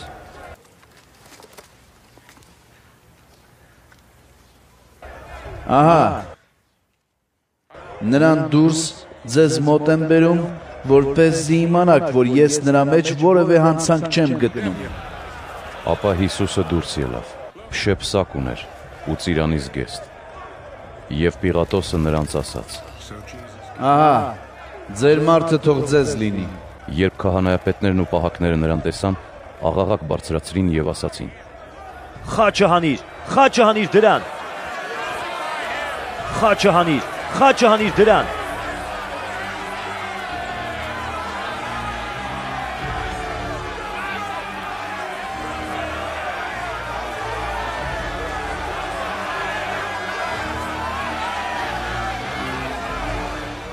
Պիղատոսը նրանց ասաց. Վերցրեք նրան ձեզ եւ ինքներդ խաչը հանեք, քանի որ ես նրա մեջ որևէ հանցանք չեմ գտնում։ Հрьяները նրան պատասխանեցին. Մենք օրենք ունենք եւ ըստ մեր օրենքի նա պետք է մեռնի, որովհետեւ իրեն Աստծո որդի դարձրեց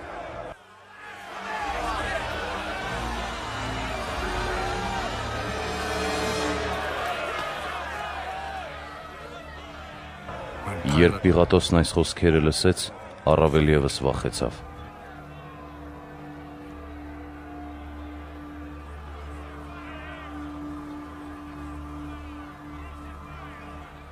Դարձյալ մտավ ապարանք ու Հիսուսին ասաց. Դու որտեղից ես։ Բայց Հիսուսը նրան պատասխան չտվեց։ Պիղատոսը նրան ասաց.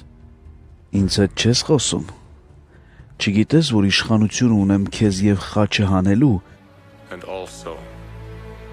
եւ ազատ արձակելու։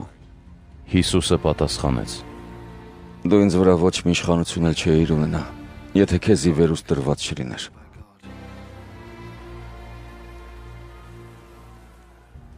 Դրա համար էլ ինձ քո ձեռքը մատնողն ավելի մեծ մեղք գործեց։ He's guilty of a worse sin. Դրանից հետո Պիղատոսն ուզում էր նրան ազատ արձակել։ Իսկ հрьяաներն աղաղակում էին ու ասում. Եթե դրան արձակես, կայսրին բարեկամ չես։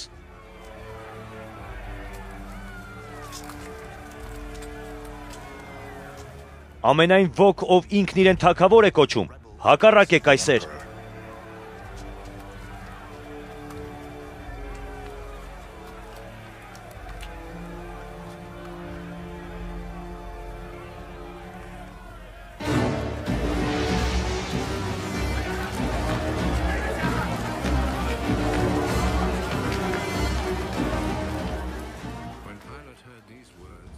Իսկ երբ Պիղատոսն այս խոսքերը լսեց, Հիսուսին դուրս բերեց։ Նստեց բեմի վրա քարահատակ Եփրայերեն կապաթա կոչված վայրում։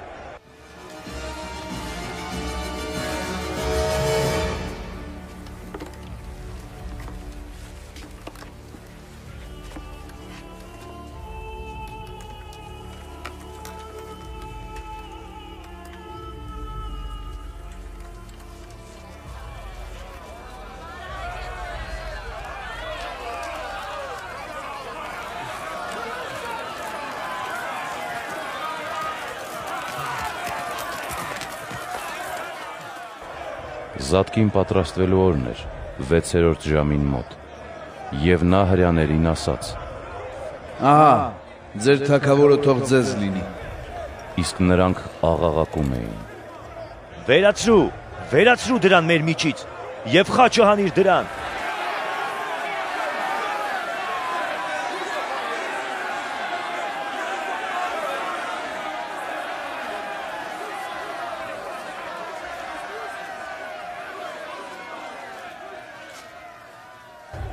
Պիղատոսը նրանց հարցրեց. Ես ձեր թակավորին խաչը հանեմ։ Մենք այլ թակավոր չունենք կայսրից բացի։ Այն ժամանակ Հիսուսին հանձնեց նրանց ձեռքը, որպեսզի խաչը հանվի։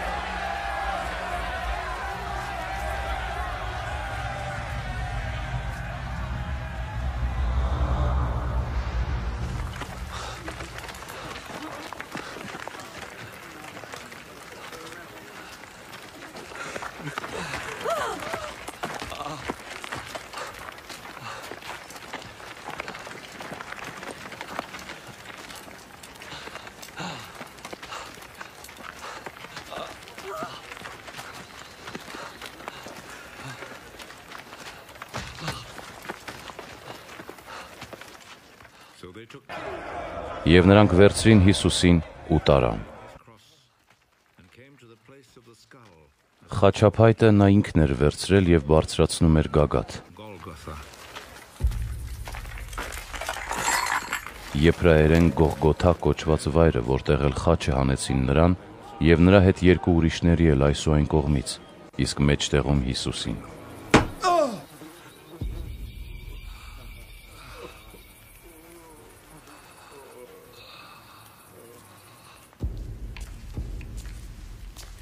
Պիղատոսը մի տախտակ էլ սարքեց ու դրեց խաչի վրա։ Գրված էր. Հիսուսն ազովրեցի, հрьяաների թակավոր։ is what he wrote.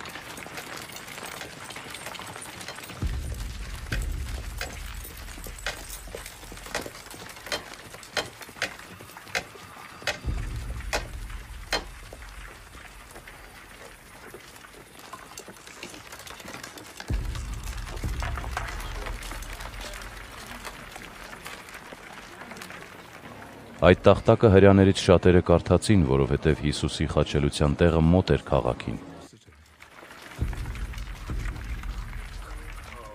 Տախտակն էլ գրված էր եփրայերեն, լատիներեն եւ հունարեն։ Հрьяաների քահանայապետները Պիղատոսին ասացին. «Մի գրիր հрьяաների թակավոր, այլ թե նա ասաց, որ հрьяաների թակավորն եմ»։ Պիղատոսը պատասխանեց. Ինչ գրեցի, գրեցի։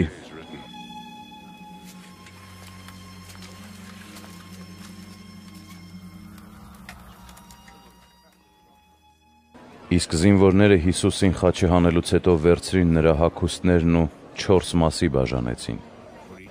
Յուրաքանչյուր զինվորի 1 մաս։ Պատմուճանն էլ վերցրին, բայց քանի որ այն առանց կարի էր, միակտոր, վերևից ներքև ամբողջովին հյուսած, ուստի միմյանց ասացին. Եկեք այն իզուր չպատրտենք, այլ դրա վրա վիճակ գցենք, ում որ ելնի։ որպեսզի կատարվի գրվածը, որ ասում է. Իմ հակուսներն իրար մեջ բաժանեցին ու իմ պատմուճանի վրա վիճակ գցեցին։ Զինվորներն այս ամենն արեցին։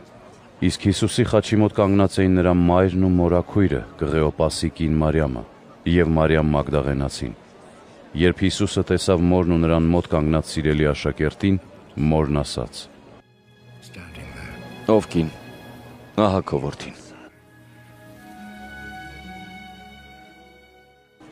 Ապա աշակերտին ասաց. Ահա քո մայրը։ Եվ այդ պահից սկսած աշակերտը նրան իր մոտ վերցրեց։ Այնուհետև Հիսուսը իմանալով թե ահա ամեն ինչ կատարված է, որ เป զի իրականանա գրվածը, ասաց.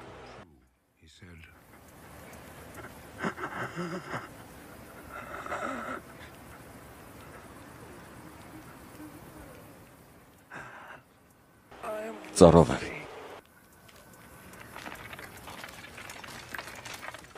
Այնտեղ քացախով լի մի աման կար։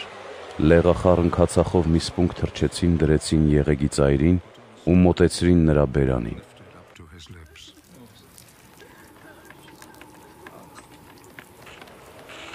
Երբ Հիսուսը լեղախառն քացախը բերանն առավ,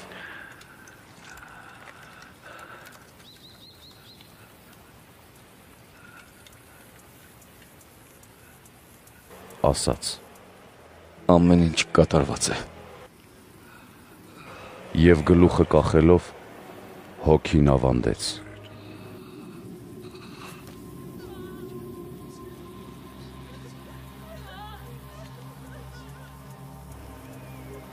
Իսկ հрьяաները, քանի որ ուրփաթ էր եւ որպեսզի մարմինները մինչեւ շաբաթ չմնային խաչի վրա, քանի որ այն շաբաթը տոնի մեծ օրն էր։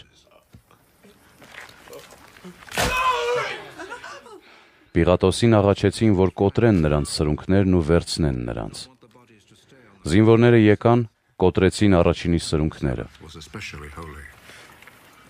Այնուհետև նրա հետ խաչ հանված մյուսինը։ Իսկ երբ Հիսուսի մոտ եկան, տեսան, որ նա արդեն մեռած էր, եւ նրա սրունքները չկոտրեցին։ Սակայն զինվորներից մեկը տեգով խոցեց նրա կողը։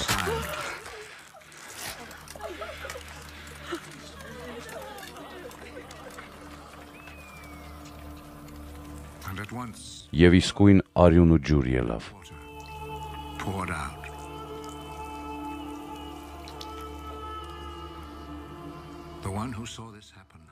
Այս բանը տեսնողը վկայեց եւ ճշմարիտ է նրա վկայությունը, քանզի գիտի, որ ճշմարիտ է ասում որ เป զի դուք էլ հավատաք։ Այս ամենը պատահեց, որ เป զի իրականանա գրվածը։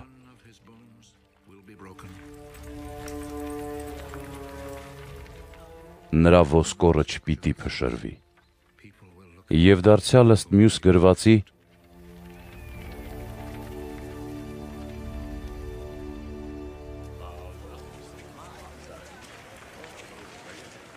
պիտի նայեն նրան, որին խոցեցին։ Այնուհետև Արիմաթեացի Հովսեփը հрьяաների վախի պատճառով Հիսուսի թաքուն աշակերտը Պիղատոսին աղաչեց, որ վերցնի Հիսուսի մարմինը։ Պիղատոսն անմիջապես հրաման տվեց եւ եկան ու վերցրին Հիսուսի մարմինը։ Նիկոդեմոսը, որ առաջին անգամ գիշերով էր Հիսուսի մոտ եկել, հալվեի հետ խառնված մոտ 100 լիտր զմուրս բերեց։ Վերցրին Հիսուսի մարմինը եւ ըստ հрьяների սովորության պատեցին կտավներով ու խնկերով։ Խաչելության վայրում մի պարտեզ կար։ Պարտեզում մի նոր գերեզման, որի մեջ երբեք որևէ մեկը չէր դրվել։ Հрьяների ուրփաթի պատճառով, քանի որ գերեզմանը մոտ էր, Հիսուսին այնտեղ դրեցին։ Հովանես 20-րդ գլուխ։ Կիրակի օրը առավոտյան արշալույսին դեռ չլուսացած Մարիամ Մագդաղենացին գերեզման եկավ ու տեսավ, որ քարը գերեզմանի դռնից վերցված է։ Անմիջապես վազեց եկավ Սիմոն Պետրոսի եւ այն մյուս աշակերտի մոտ, որին սիրում էր Հիսուսը, ու նրանց ասաց. Տիրոջը վերցրել են գերեզմանից եւ չգիտենք թե ուր են դրել նրան։ Պետրոսը եւ մյուս աշակերտը ելան ու գերեզման գնացին։ Երկուսով միասին էին վազում, բայց մյուս աշակերտն առաջ անցավ Պետրոսից։ Ավելի շուտ հասավ ու առաջինը գերեզման մտավ։ Եվ կռանալով տեսավ, որ կտավներն այնտեղ էին, բայց ներս չմտավ։ Եկավ նաև Սիմոն Պետրոսը, որ նրա հետևից էր գալիս։ Մտավ գերեզման ու տեսավ, որ կտավներն այնտեղ էին։ Բայց վարշամակը, որ Հիսուսի գլխին էր, մյուս կտավների հետ չէր, այլ հատուկ ծալված մի տեղում էր։. Այն ժամանակ մտավ եւ մյուս աշակերտը, որ ավելի շուտ էր գերեզման եկել։ Տեսավ ու հավատաց, and believed. Քանի որ դեռ չէին հասկացել գրվածը։ Մեռելներից հարություն պիտի առնի։ Աշակերտները նորից տուն գնացին։ Բայց Մարիամը կանգնած էր գերեզմանի դուրսն ու լաց էր լինում։ Մինչ արտասվում էր, կռացավ դեպի գերեզմանը եւ սպիտակների մեջ երկու հրեշտակների տեսավ։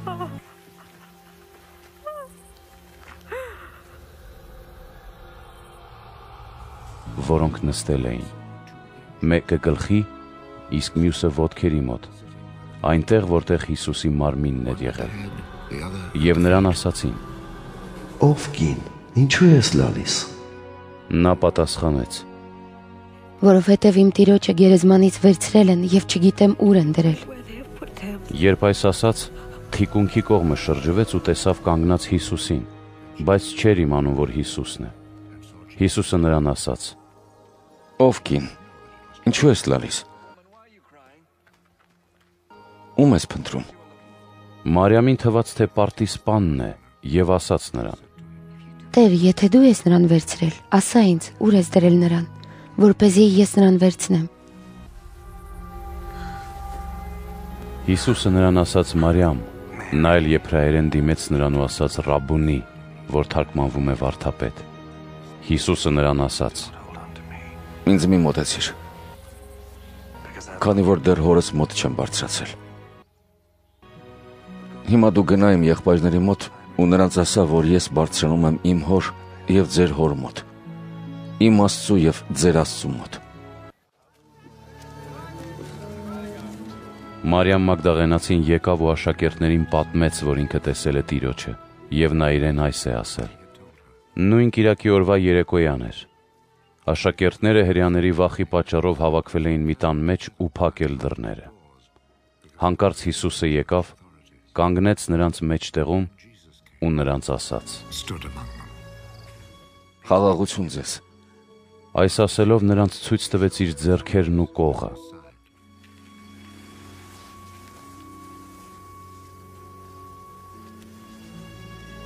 Աշակերտներն ուրախացան Տիրոջը տեսնելով։ Նա դարձյալ նրանց ասաց. Խաղաղություն ձեզ։ Ինչպես իմ հայրն ինձ ուղարկեց, ես էլ ձեզ եմ ուղարկում։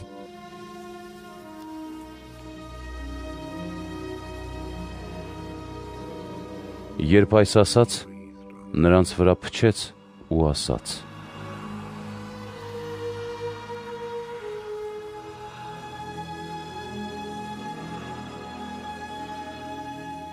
Առեք Սուրբ Հոգին։ Եթե մեկի մեղքերը ներեք, նրան ներված կլինի։ Եթե մեկի մեղքերը չներեք, ներված չի լինի։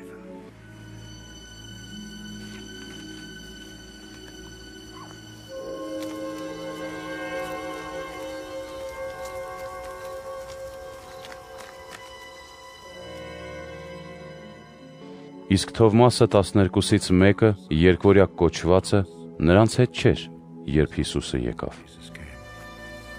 Մյուս աշակերտները նրան ասացին. Տիրոջը տեսանք։ Իսկ նա նրանց ասաց. Մինչև չտեսնեմ նրա ձեռքերի վրա մեխերի նշանը եւ իմ մատները մեխերի տեղերը չդնեմ ու իմ ձեռքը նրա կողի մեջ չխրեմ, չեմ հավատա։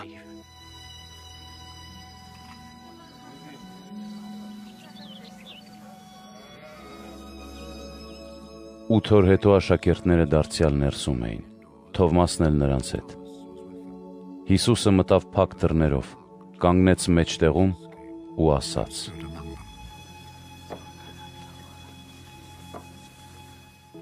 Խաղաղություն ձեզ։ Ապա Թովմասին ասաց. Բեր քո մատները եւ դիր այստեղ ու տես իմ ձեռքերը։ Բեր քո ձեռքն ու մցրու իմ կողի մեջ։ Մի տարակուսիր, այլ հավատա։ Թովմասը պատասխանեց նրան. Տեր իմ եւ Աստված իմ։ Հիսուսը նրան ասաց. Հավատացիր, որովհետև տեսար ինձ։ Երանի նրանց, որոնք չեն տեսել, սակայն կհավատան։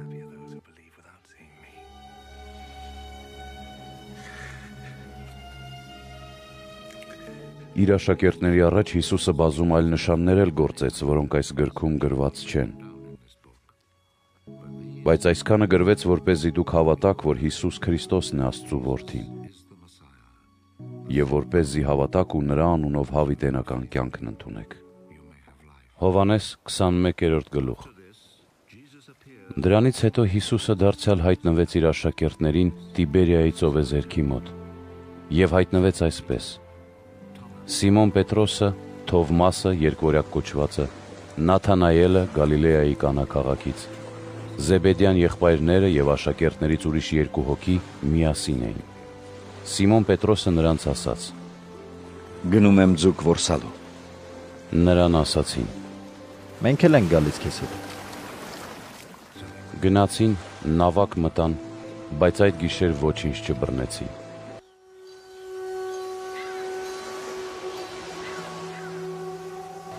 Վաղ առավոտյան Հիսուսը կանգնած էր ծովեզերքին, բայց աշակերտները նրան չճանաչեցին։ Հիսուսը նրանց ասաց. Տղաներ, ուտելու բան չունեք։ Նրան պատասխանեցին. Ոչ։ Նրանց ասաց. Ուրկանը նավակի աջ կողմը գցեք եւ կգտնեք։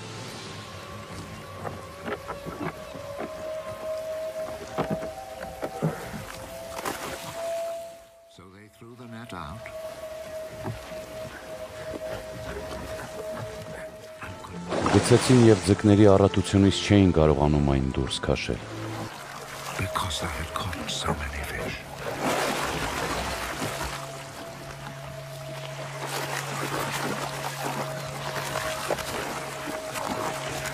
Այն աշակերտը, որին սիրում էր Հիսուսը, Պետրոսին ասաց. Տերն է։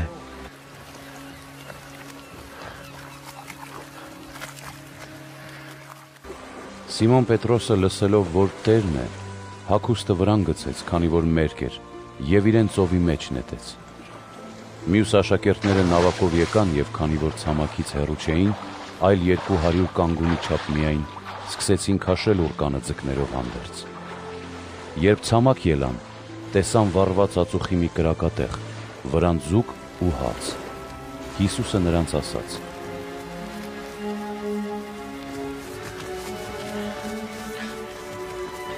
Բերեք այն ձկներից, որ դուք հիմա որսացիք։ Սիմոն Պետրոսը նավակ մտավ ու ցամաք հանեց ուրկանը, որ լիքն էր 153 շատ մեծ ձկներով։ Թեև այնչափ բան կար, բայց ուրկանը չպատրվեց։ Հիսուսը նրանց ասաց. Եկեք ճաշեք։ Եվ աշակերտներից ոչ ոք չէր համարցակվում հարցնել, թե դու ով ես, որովհետև արդեն գիտեին, որ Տերն է։ Հիսուսը եկավ, հաց ու ձուկ վերցրեց եւ տվեց նրանց։ Սա երրորդ անգամն էր, որ մեռելներից հարություն առնելուց հետո Հիսուսը երևաց իր աշակերտներին։ Երբ ճաշեցին, Հիսուսը հարցրեց Սիմոն Պետրոսին. Սիմոն, որդի Հովնանի, սիրում ես ինձ ավելի, քան դրանք։ Նա ասաց նրան. Այո, Տեր։ Դու էլ գիտես, որ սիրում եմ քեզ։ Նրան ասաց. Արածեցրու իմ գառներին։ Երկրորդ անգամ հարցրեց նրան. Սիմոն, որդի Հովնանի, սիրում ես ինձ։ Նա ասաց նրան. Այո, Տեր։ Դու էլ գիտես, որ սիրում եմ քեզ։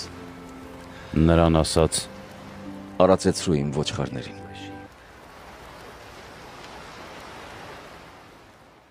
Երրորդ անգամ հարցրեց. Սիմոն, որդի Հովնանի։ Սիրում ես ինձ։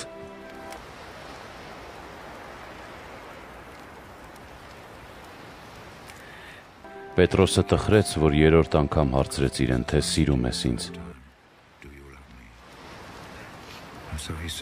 Ու նրան պատասխանեց. Տեր, դու ամեն ինչ գիտես։ Դու ինքդ ճանաչում ես բոլորին եւ գիտես, թե սիրում եմ քեզ։ Հիսուսը նրան ասաց. Արածեցրու իմ ոչխարներին։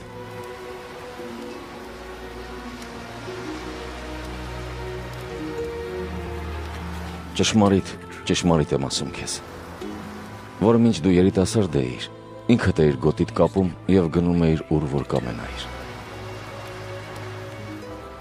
Սակայն երբ ծերանաս, ձերքերդ վեր կբարձրացնես։ Եվ ուրիշները քեզ գոտի կկապեն ու կտանեն ուր որ չես կամենա։ Այս ասած նշելով, թե ինչ մահով պիտի փառավորի Աստծուն։ Եվ երբ այս ասաց, ավելացրեց. Արի իմ հետևից։ Պետրոսը շրջվեց ու տեսավ, որ այն աշակերտը, որին Հիսուսը սիրում էր, գալիս է իրենց հետևից։ Նա, որ ընկել էր նրա կրծքովն ու ասել. Տեր, ով է որ մատնելու է քեզ։ Պետրոսը նրան տեսնելով, ասաց Հիսուսին. Տեր, իսկ սա սրան ինչ կլինի։ Հիսուսը նրան ասաց. Եթե ես կամենում եմ, որ դա ապրի, ինչեւ որ ես գամ, քեզ ինչ հոգ դրանից։ Դու արի իմ հետևից։ Եվ այս խոսքը տարածվեց եղբայրների մեջ, թե իբր այդ աշակերտը չպիտի մեռնի։ Բայց Հիսուսը նրան չասաց, թե չպիտի մեռնի, այլ թե Ես կամենում եմ, որ նա ապրի, ինչեւ որ ես գամ։ այդ աշակերտն է, որ վկայում է այս բաների մասին, որն էլ գրեց դրանք։ Եվ գիտենք, որ նրա վկայությունը ճշմարիտ է։ Բայց ուրիշ շատ բաներ էլ կան, որ Հիսուսն արեց, որոնք եթե մեկ առ մեկ գրված լինեին, կարծում եմ, թե այս աշխարհը բավական չէր լինի պարփակելու այդ գրքերը, եթե գրված լինեին։